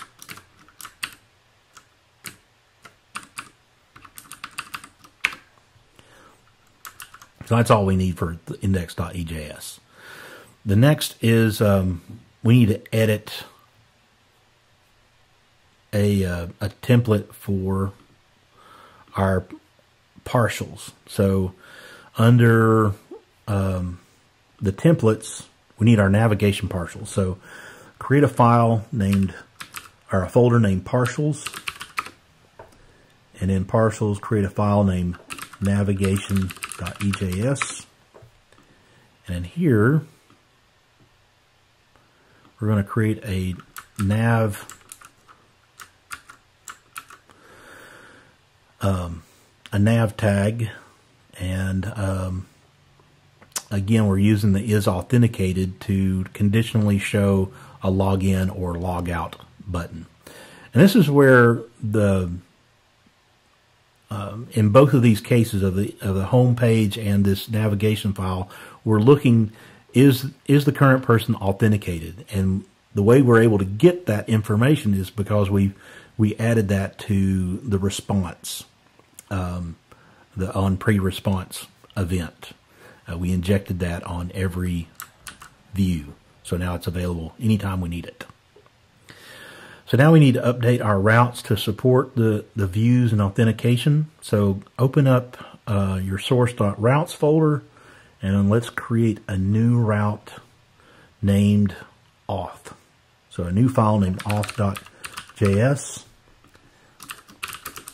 And in here, we're going to uh, bring in our boom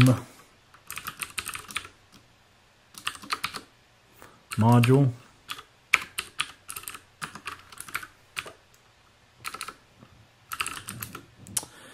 Um, we're going to define a login, and these this is just what I'm what I'm about to show you is an alternative way that you can define some routes. Um, and register those routes. So in the past, we've just done server.route and specified the config in there.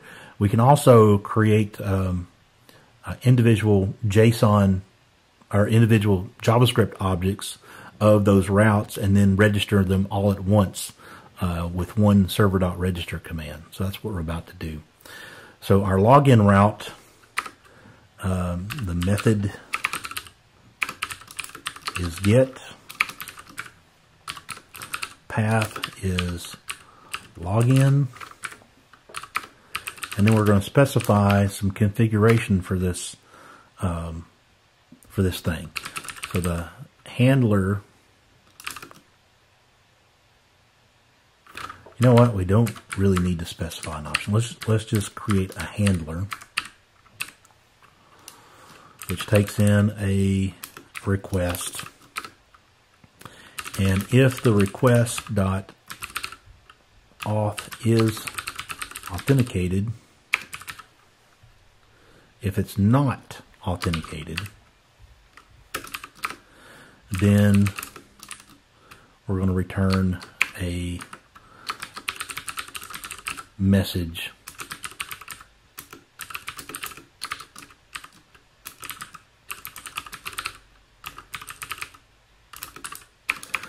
We should probably never see this message, but um, just putting this in here for for safekeeping, just in case. Uh, we need our define our callback route for OAuth. OAuth callback, and this is also a get. The path is authorization code callback.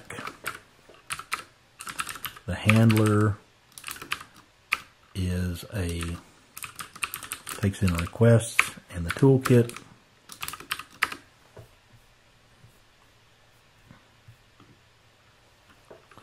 and if the request is not authenticated,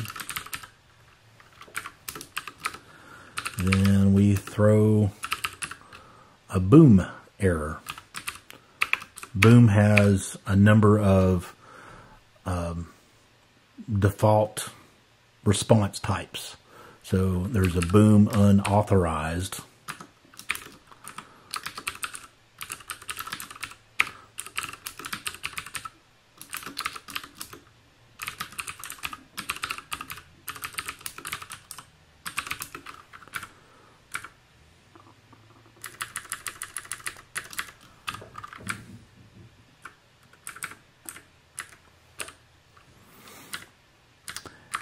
But if they are authenticated, then we need to set the uh, session cookie. So we're going to use request dot cookie auth dot set. That to the request auth credentials, and then return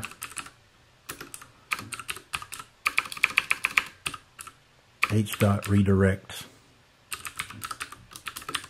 back to the home page. And in this case, we're going to set our options. The auth strategy for this particular route is Okta. And that's when it's going to trigger um, if the person is not logged in, uh, if there's no session, it's going to redirect them to, to Okta to log in. We also need a logout route is a get pass path is log out.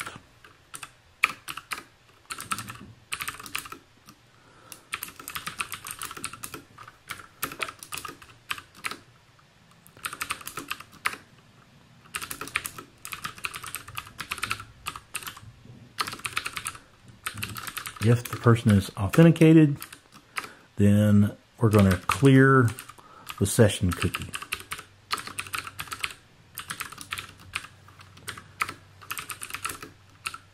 And then redirect them back to the home page.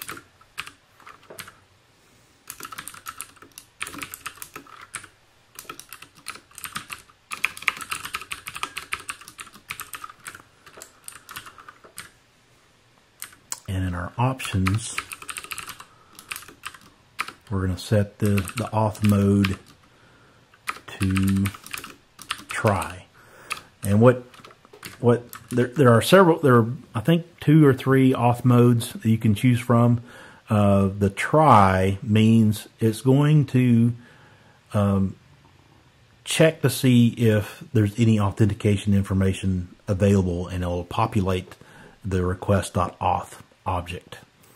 Um, if auth mode was set to none, then request.auth would not be populated with anything, even if that current request, um, that person is logged in.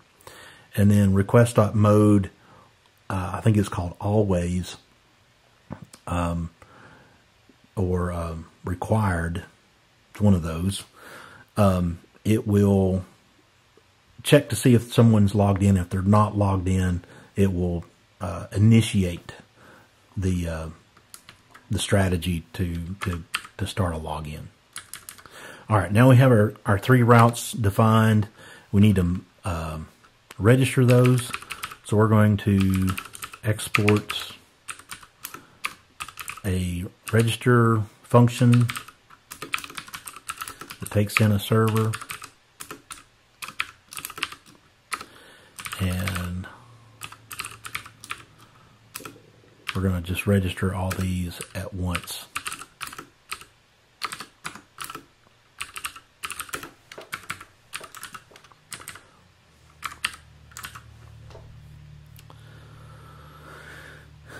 Now we need to update our uh, homepage route so that it renders our EJS view instead of returning a string. So under source routes index, uh, instead of returning this, we need to render our view.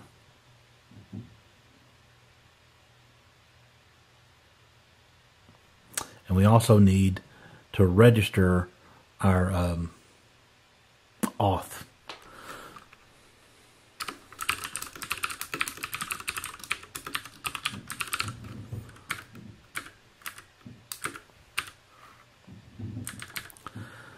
After we register the server, we'll await on, uh, or after we register the API, we'll register uh, auth routes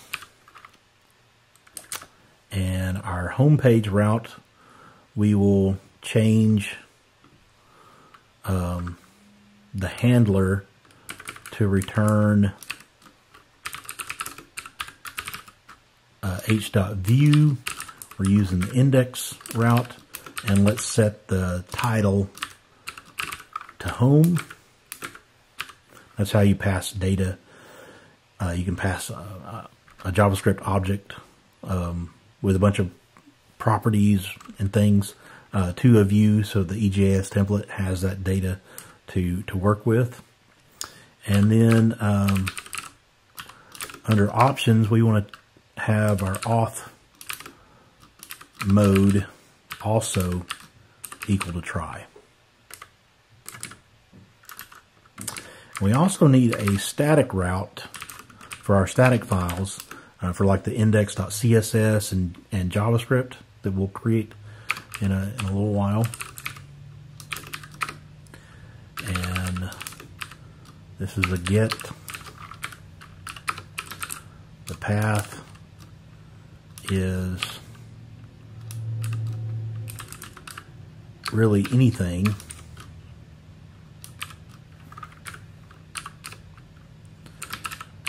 And uh, if we, this is like a catch-all if it does if it doesn't already find another route uh, that's explicitly defined, like a like our login, our home page, our logout route, if if if none of those routes match a current request, then this catch-all uh, route will will handle it.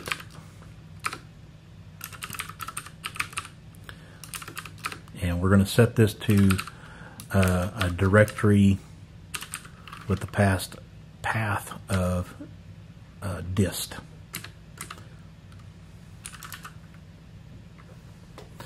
uh, this will be a folder that's that's created for us automatically by our build process. It's going to um, build our front end for us and generate uh, our JS file and our our CSS file. Well, now that we have our um, authentication added to the application, we need to update our API to query the database based on the current logged in user. And at minimum, we also need to create some API routes for creating, updating, and deleting events along with those respective SQL queries. So let's go ahead and add some of those queries. I'm going to go to the uh, data events folder and create a new file named addEvent.sql. And I'm just going to copy in some, some code here to save some time. And uh, this is just an insert statement taking in the um, all the different columns we have. And then we're passing in all the values as query string, or not query string, passing those in as parameter parameters. So this is a parameterized query. And then after the insert, we're going to return the, the newly generated ID uh, using the, uh, the scope identity SQL function that returns the, uh, the automatically generated ID. Now let's create an, an update SQL.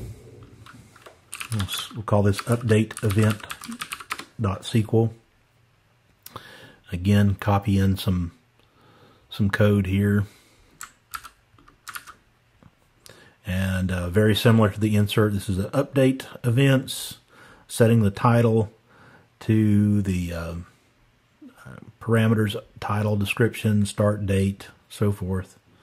I see a little typo there. Um, where the ID is the ID and the user ID specified.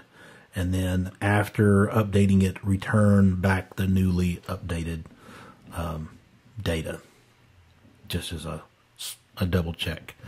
And then um, let's create a delete event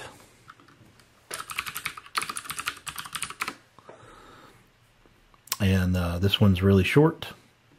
I'm just going to delete the uh, from the events table where ID is equal to uh, the ID parameter and the user ID is equal to user ID. And now let's update our events.index uh, JavaScript file to uh, use those those queries. So in the um, in the get events where we um, I'm just going to copy in some code to save some time. So we need an add event. And that's going to take in a uh, JavaScript objects that were that's destructured um, into the user ID, title, description, and so forth. Um, just like the the get events, we'll we'll get uh, the pool off the uh, we'll get a connection. Um, this needs to be doesn't have to be, but just to make things consistent, we'll get the request, and we're setting all these values on for parameters, and then running the query and returning the results.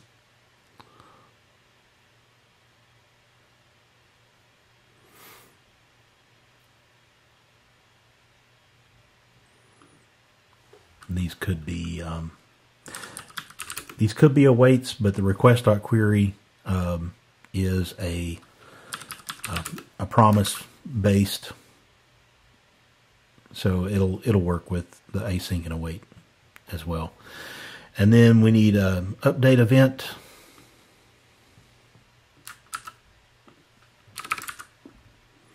Again, I'll rename this to connection for consistency. Update event looks almost identical to the to the add or the insert statement, except uh, we're using a also including the ID of the event that we want to update, and then a delete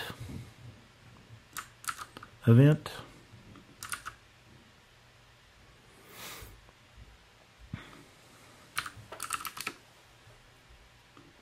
And finally, we need to return those functions uh, fr from here.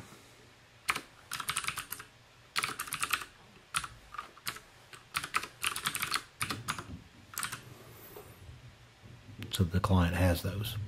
Now let's update the um, the API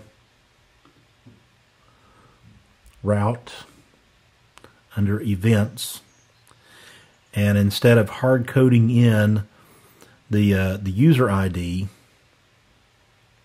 uh, we need to uh, get the actual uh, user ID that's that's requested.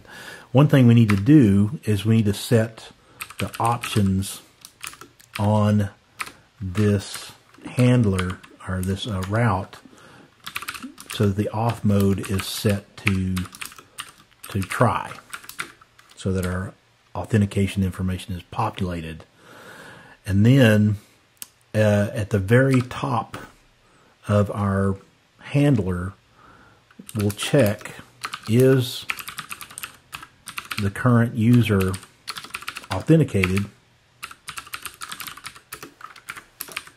If not, we'll return an unauthorized error. Now we don't have boom. Um, we need to pull that in.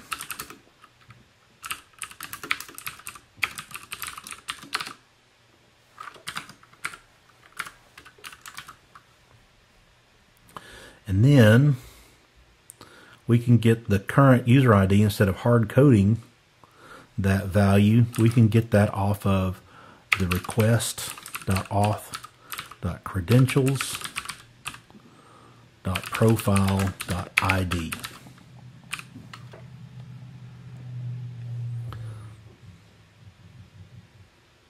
And everything else stays the same. Now we also need um, uh, routes for uh, creating events and deleting events and updating events. I'm going to add a couple here just by, by pasting these in and I'll, I'll walk through what these do. So here's a route to um, to create a new event. Again, the auth mode is try. We check to see if it's uh, authenticated or return unauthorized if not. And then um, we're going to pull the start date, start time, all these values out of the request.payload. So when you post a uh, JSON document, a JSON object to an API endpoint that um, that is uh, made available through Hapi using the request.payload uh, object. So we're pulling all those values off of the payload, and then we're uh, calling our API, our uh, our data access layer client using the add event object or function passing in all those parameters, and we expect uh, coming back from that update or that insert the uh, the ID of the newly created event. And uh, if there's an error, uh, let's uh, console log that error and and then return. Uh, there's a short a utility function on Boom called Boomify. It'll turn any error into a Hapi Boom error. So we're returning Boomify that error. And then finally, uh, let's add a delete route.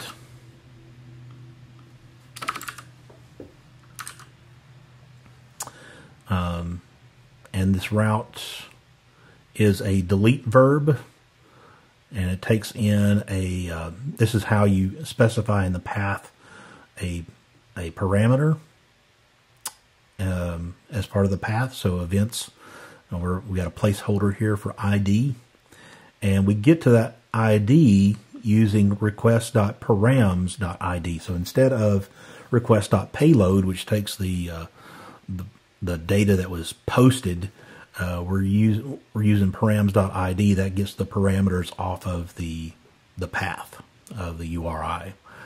So we get the user ID from our credentials and we call delete event using the ID of the uh, the event and the current user ID.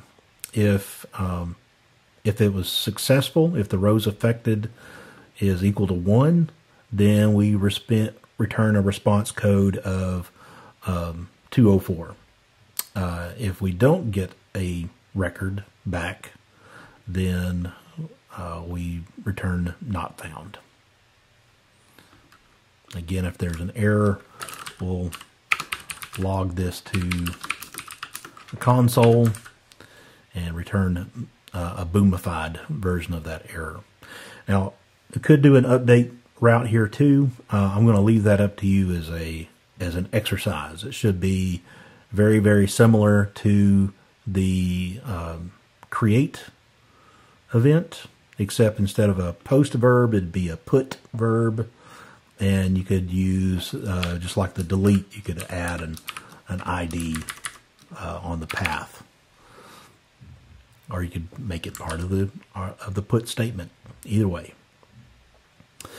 all right now let's um, we're going to create our UI for our application and uh, we're going to use as I mentioned before uh, Materialize CSS and Vue, and then some some other components that'll uh, help us make uh, the application better. So let's move over to back to the uh, the command line, and we're going to install some dependencies. So npm install. We're going to use uh, Axios uh, version 0.19 to do some to to actually do the communication from the client front end to the API. Uh, Luxon is is part of um, Luxon is part of the uh, date time UI that we're going to be creating.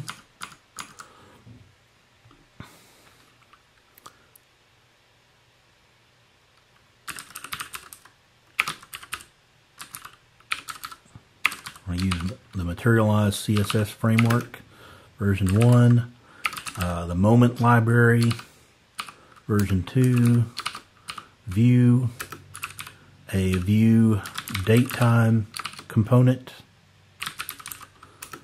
and uh, another component called week start.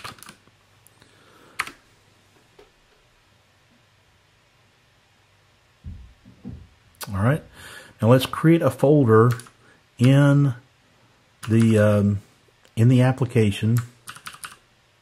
Ah, I did it again. Closed too many windows. Let's create a folder in the application in the root, and we'll call this client. So in the client, we're going to create a new file index.js. And um, in here, I'm going to put some, copy in some code. Notice we're using uh,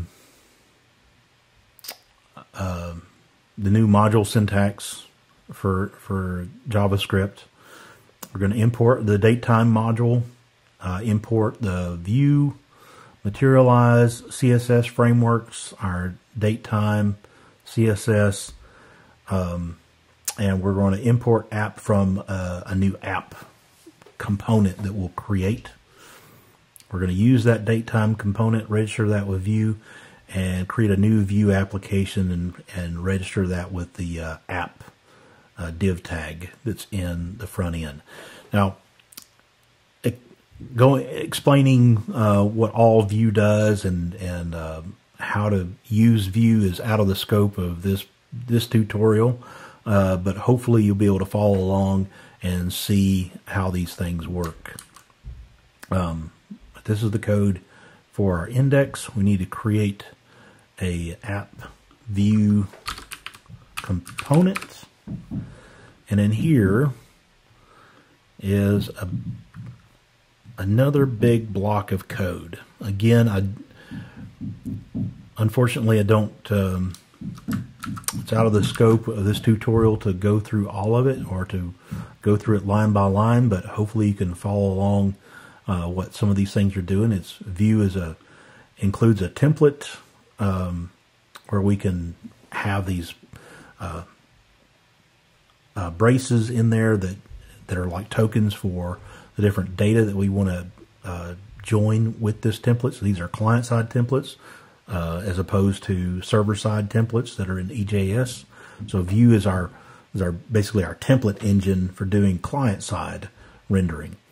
So in our um, we're going to loop through the events that we get back from the API and and populate a, a table on the front end, and then we have uh, some forms on the front end, like uh, we're going to add an event, and uh, this add event has a start date and a start time, and we're using the date time components to be able to uh, show some some nice UI uh, based components that are going to be like a, a calendar type object or a, a time um, component to work with. And when we run the application, you'll see um, how that makes the the experience a little bit nicer.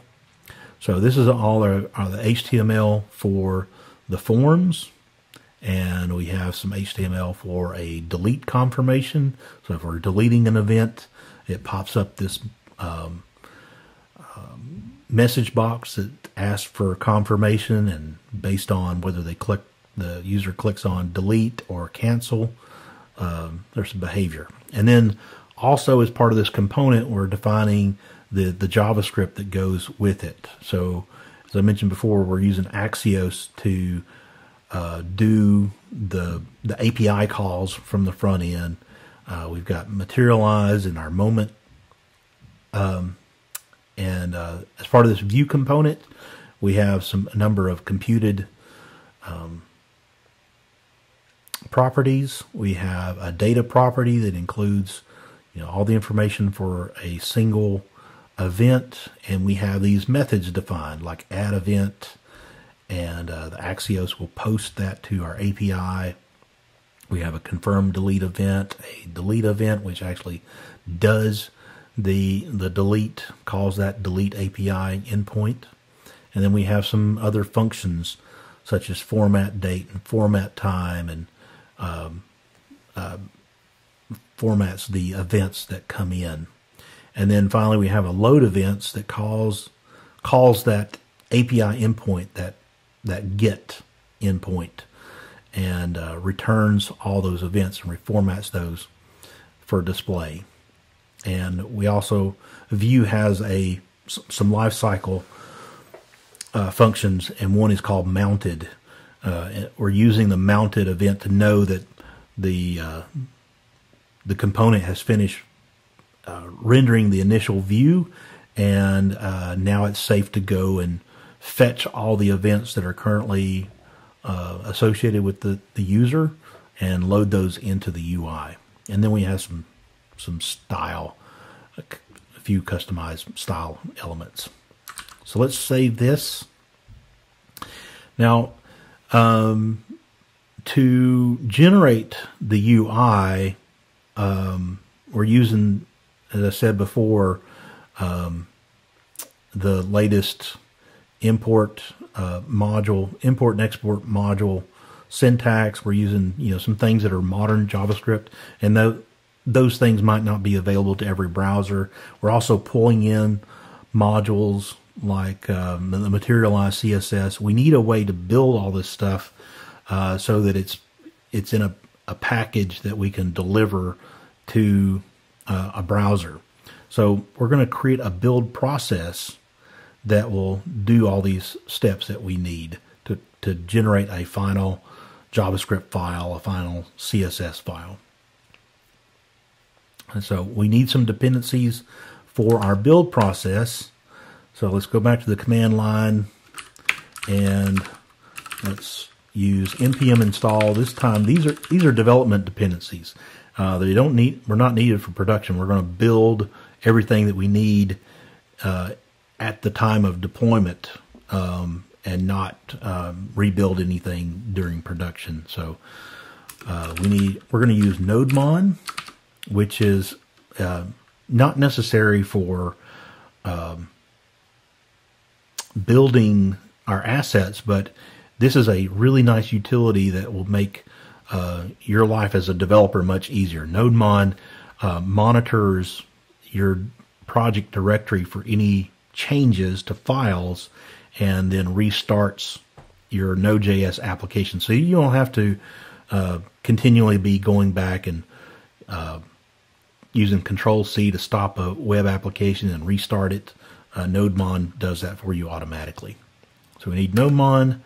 Uh, we're going to use np run npm run all, which is a nice little utility to chain together a bunch of uh, npm scripts. We're going to use Parcel Bundler um, to do our, our bundling process of Vue and CSS and JavaScript. So um, Parcel is similar to Webpack, but it's it's kind of like zero config, zero code. Um, by default, it can understand a lot of different uh, front end projects and create a uh, uh, appropriate bundle of those. So that's just uh, a way of saving some time. We need um, a Vue component compiler utils for our um, our bundling process and a Vue template compiler version 2. All right, now that that's done, let's update our package.json file uh, to include some build scripts.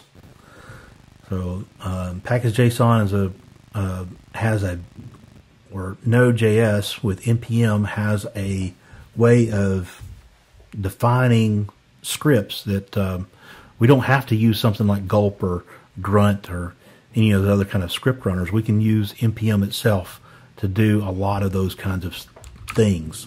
So in the scripts, uh, we'll define a build script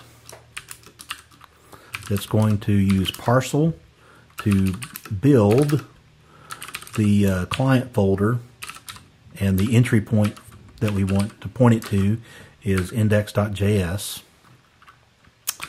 Um, we're going to define a dev script, which will use NodeMon, and we're going to specify that it watch the client folder, um, and we want it to watch the source folder, uh, both of those, for any changes, and the file types that we want it to watch include JavaScript, EJS, SQL, Vue, and CSS. So if we make a change to any of those types of files, NodeMon will detect that and restart um, the application. So if it detects one of those things, then we tell it to run, use npm run dev start. What's dev start? Uh, we also need to define that. So dev start is npm run all build and start. So we need a start um, script, and that is just simply run node with a uh, in the current directory, and that's it. You can run any script defined in your command or terminal line with the npm run label. And um, as I mentioned before, NodeMon is a fantastic utility. So only thing we need to do now is come back here and run npm run dev, and that should run uh, NodeMon and kick off our build process. Hmm. I don't think it ran our our uh, build process. So let's go back and, and look at this again. npm run dev start. Oh, I forgot to include uh, an exec parameter. So exec tells it what command to actually run and not just run uh, node. By default, it does something like this. Um, but if we wanted to specify a particular uh, script to run, we need to use the exec parameter. So let's try that again. npm run dev. This time, it kicks off parcel.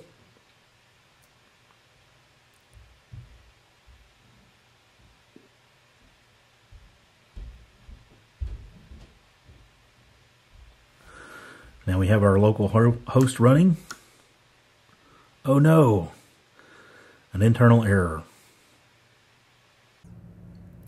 Well, let's switch over to the console and see what uh, what's going on. All right, so there's an internal error, reference to message is not defined. Oh, so our home page is expecting to get a message sent to the template, and we're not passing a message. We're just passing the title. So let's go over to the um, the templates folder under source, or actually the template's fine. Remember, it's looking for a, a message in the paragraph. So we need to go to our routes for the home page, and we're just passing the title as a home. Let's also pass a message of something like welcome. Now what should happen is that node mon, nodemon, recognizes the change we just made to the file and automatically restarts the, the uh, server. So if we go back to the browser and refresh the page, boom, we get our login. Something strange though is going on here.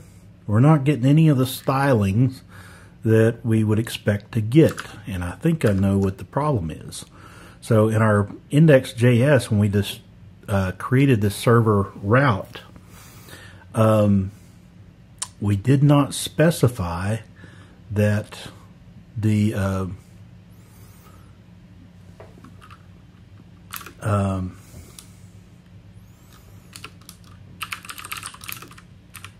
the auth mode should be um, set.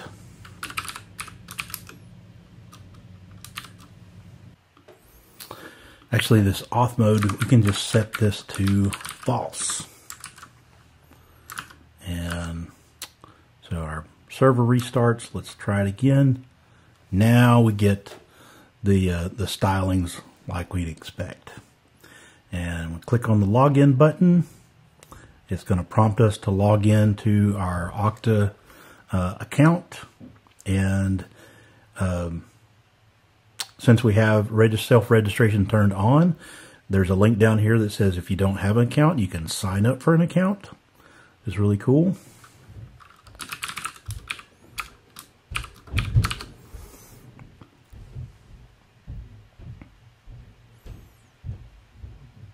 Oh no, got another error. What's what do we got happening this time? Cannot read property first name of undefined. So I must have messed something up with the uh, the data. Maybe I mis misspelled something. So in our routes, um, auth plugin, or let's see, our auth plugin. Instead of profile, I called it process. You probably saw me make that mistake. Let's try it again. So it automatically restarted. And now we have our events. We have no events yet because the two dummy events that we added to the application database earlier. Uh, those are no longer in there. So click on start date and we've got a nice little calendar pop up here. And time, we've got a nice uh, time picker. So let's say 3 p.m. And uh, we won't specify an end date and we'll call the appointment just um, um, coffee. Of course, you could set that for every hour of the day, as far as I'm concerned. And we'll click submit, and that goes off and makes an API request to insert that data into the database and returns, uh, updates our list of events up here. So if I were to refresh the page, we still get a list of the one event. Let's add uh, one more event. Let's say uh, kind of like our conference, we'll say it starts on April the 1st and ends on April the 2nd. Okay, this is a virtual conference. Submit that. And now we got our um, virtual conference. If we want to delete one of these, we click delete and it's going to ask us to confirm. If we click OK, then it calls the API to delete that from the database and refreshes our list of events. So I declare this application a success. Well, I hope you liked learning about Node.js and using SQL Server, a little bit about Hapi and uh, how to authenticate your application with Okta. Um, if you like the content, please click the thumbs up and subscribe so that you can find uh, content from us in the future. Thank you so much, and I hope you have a great day.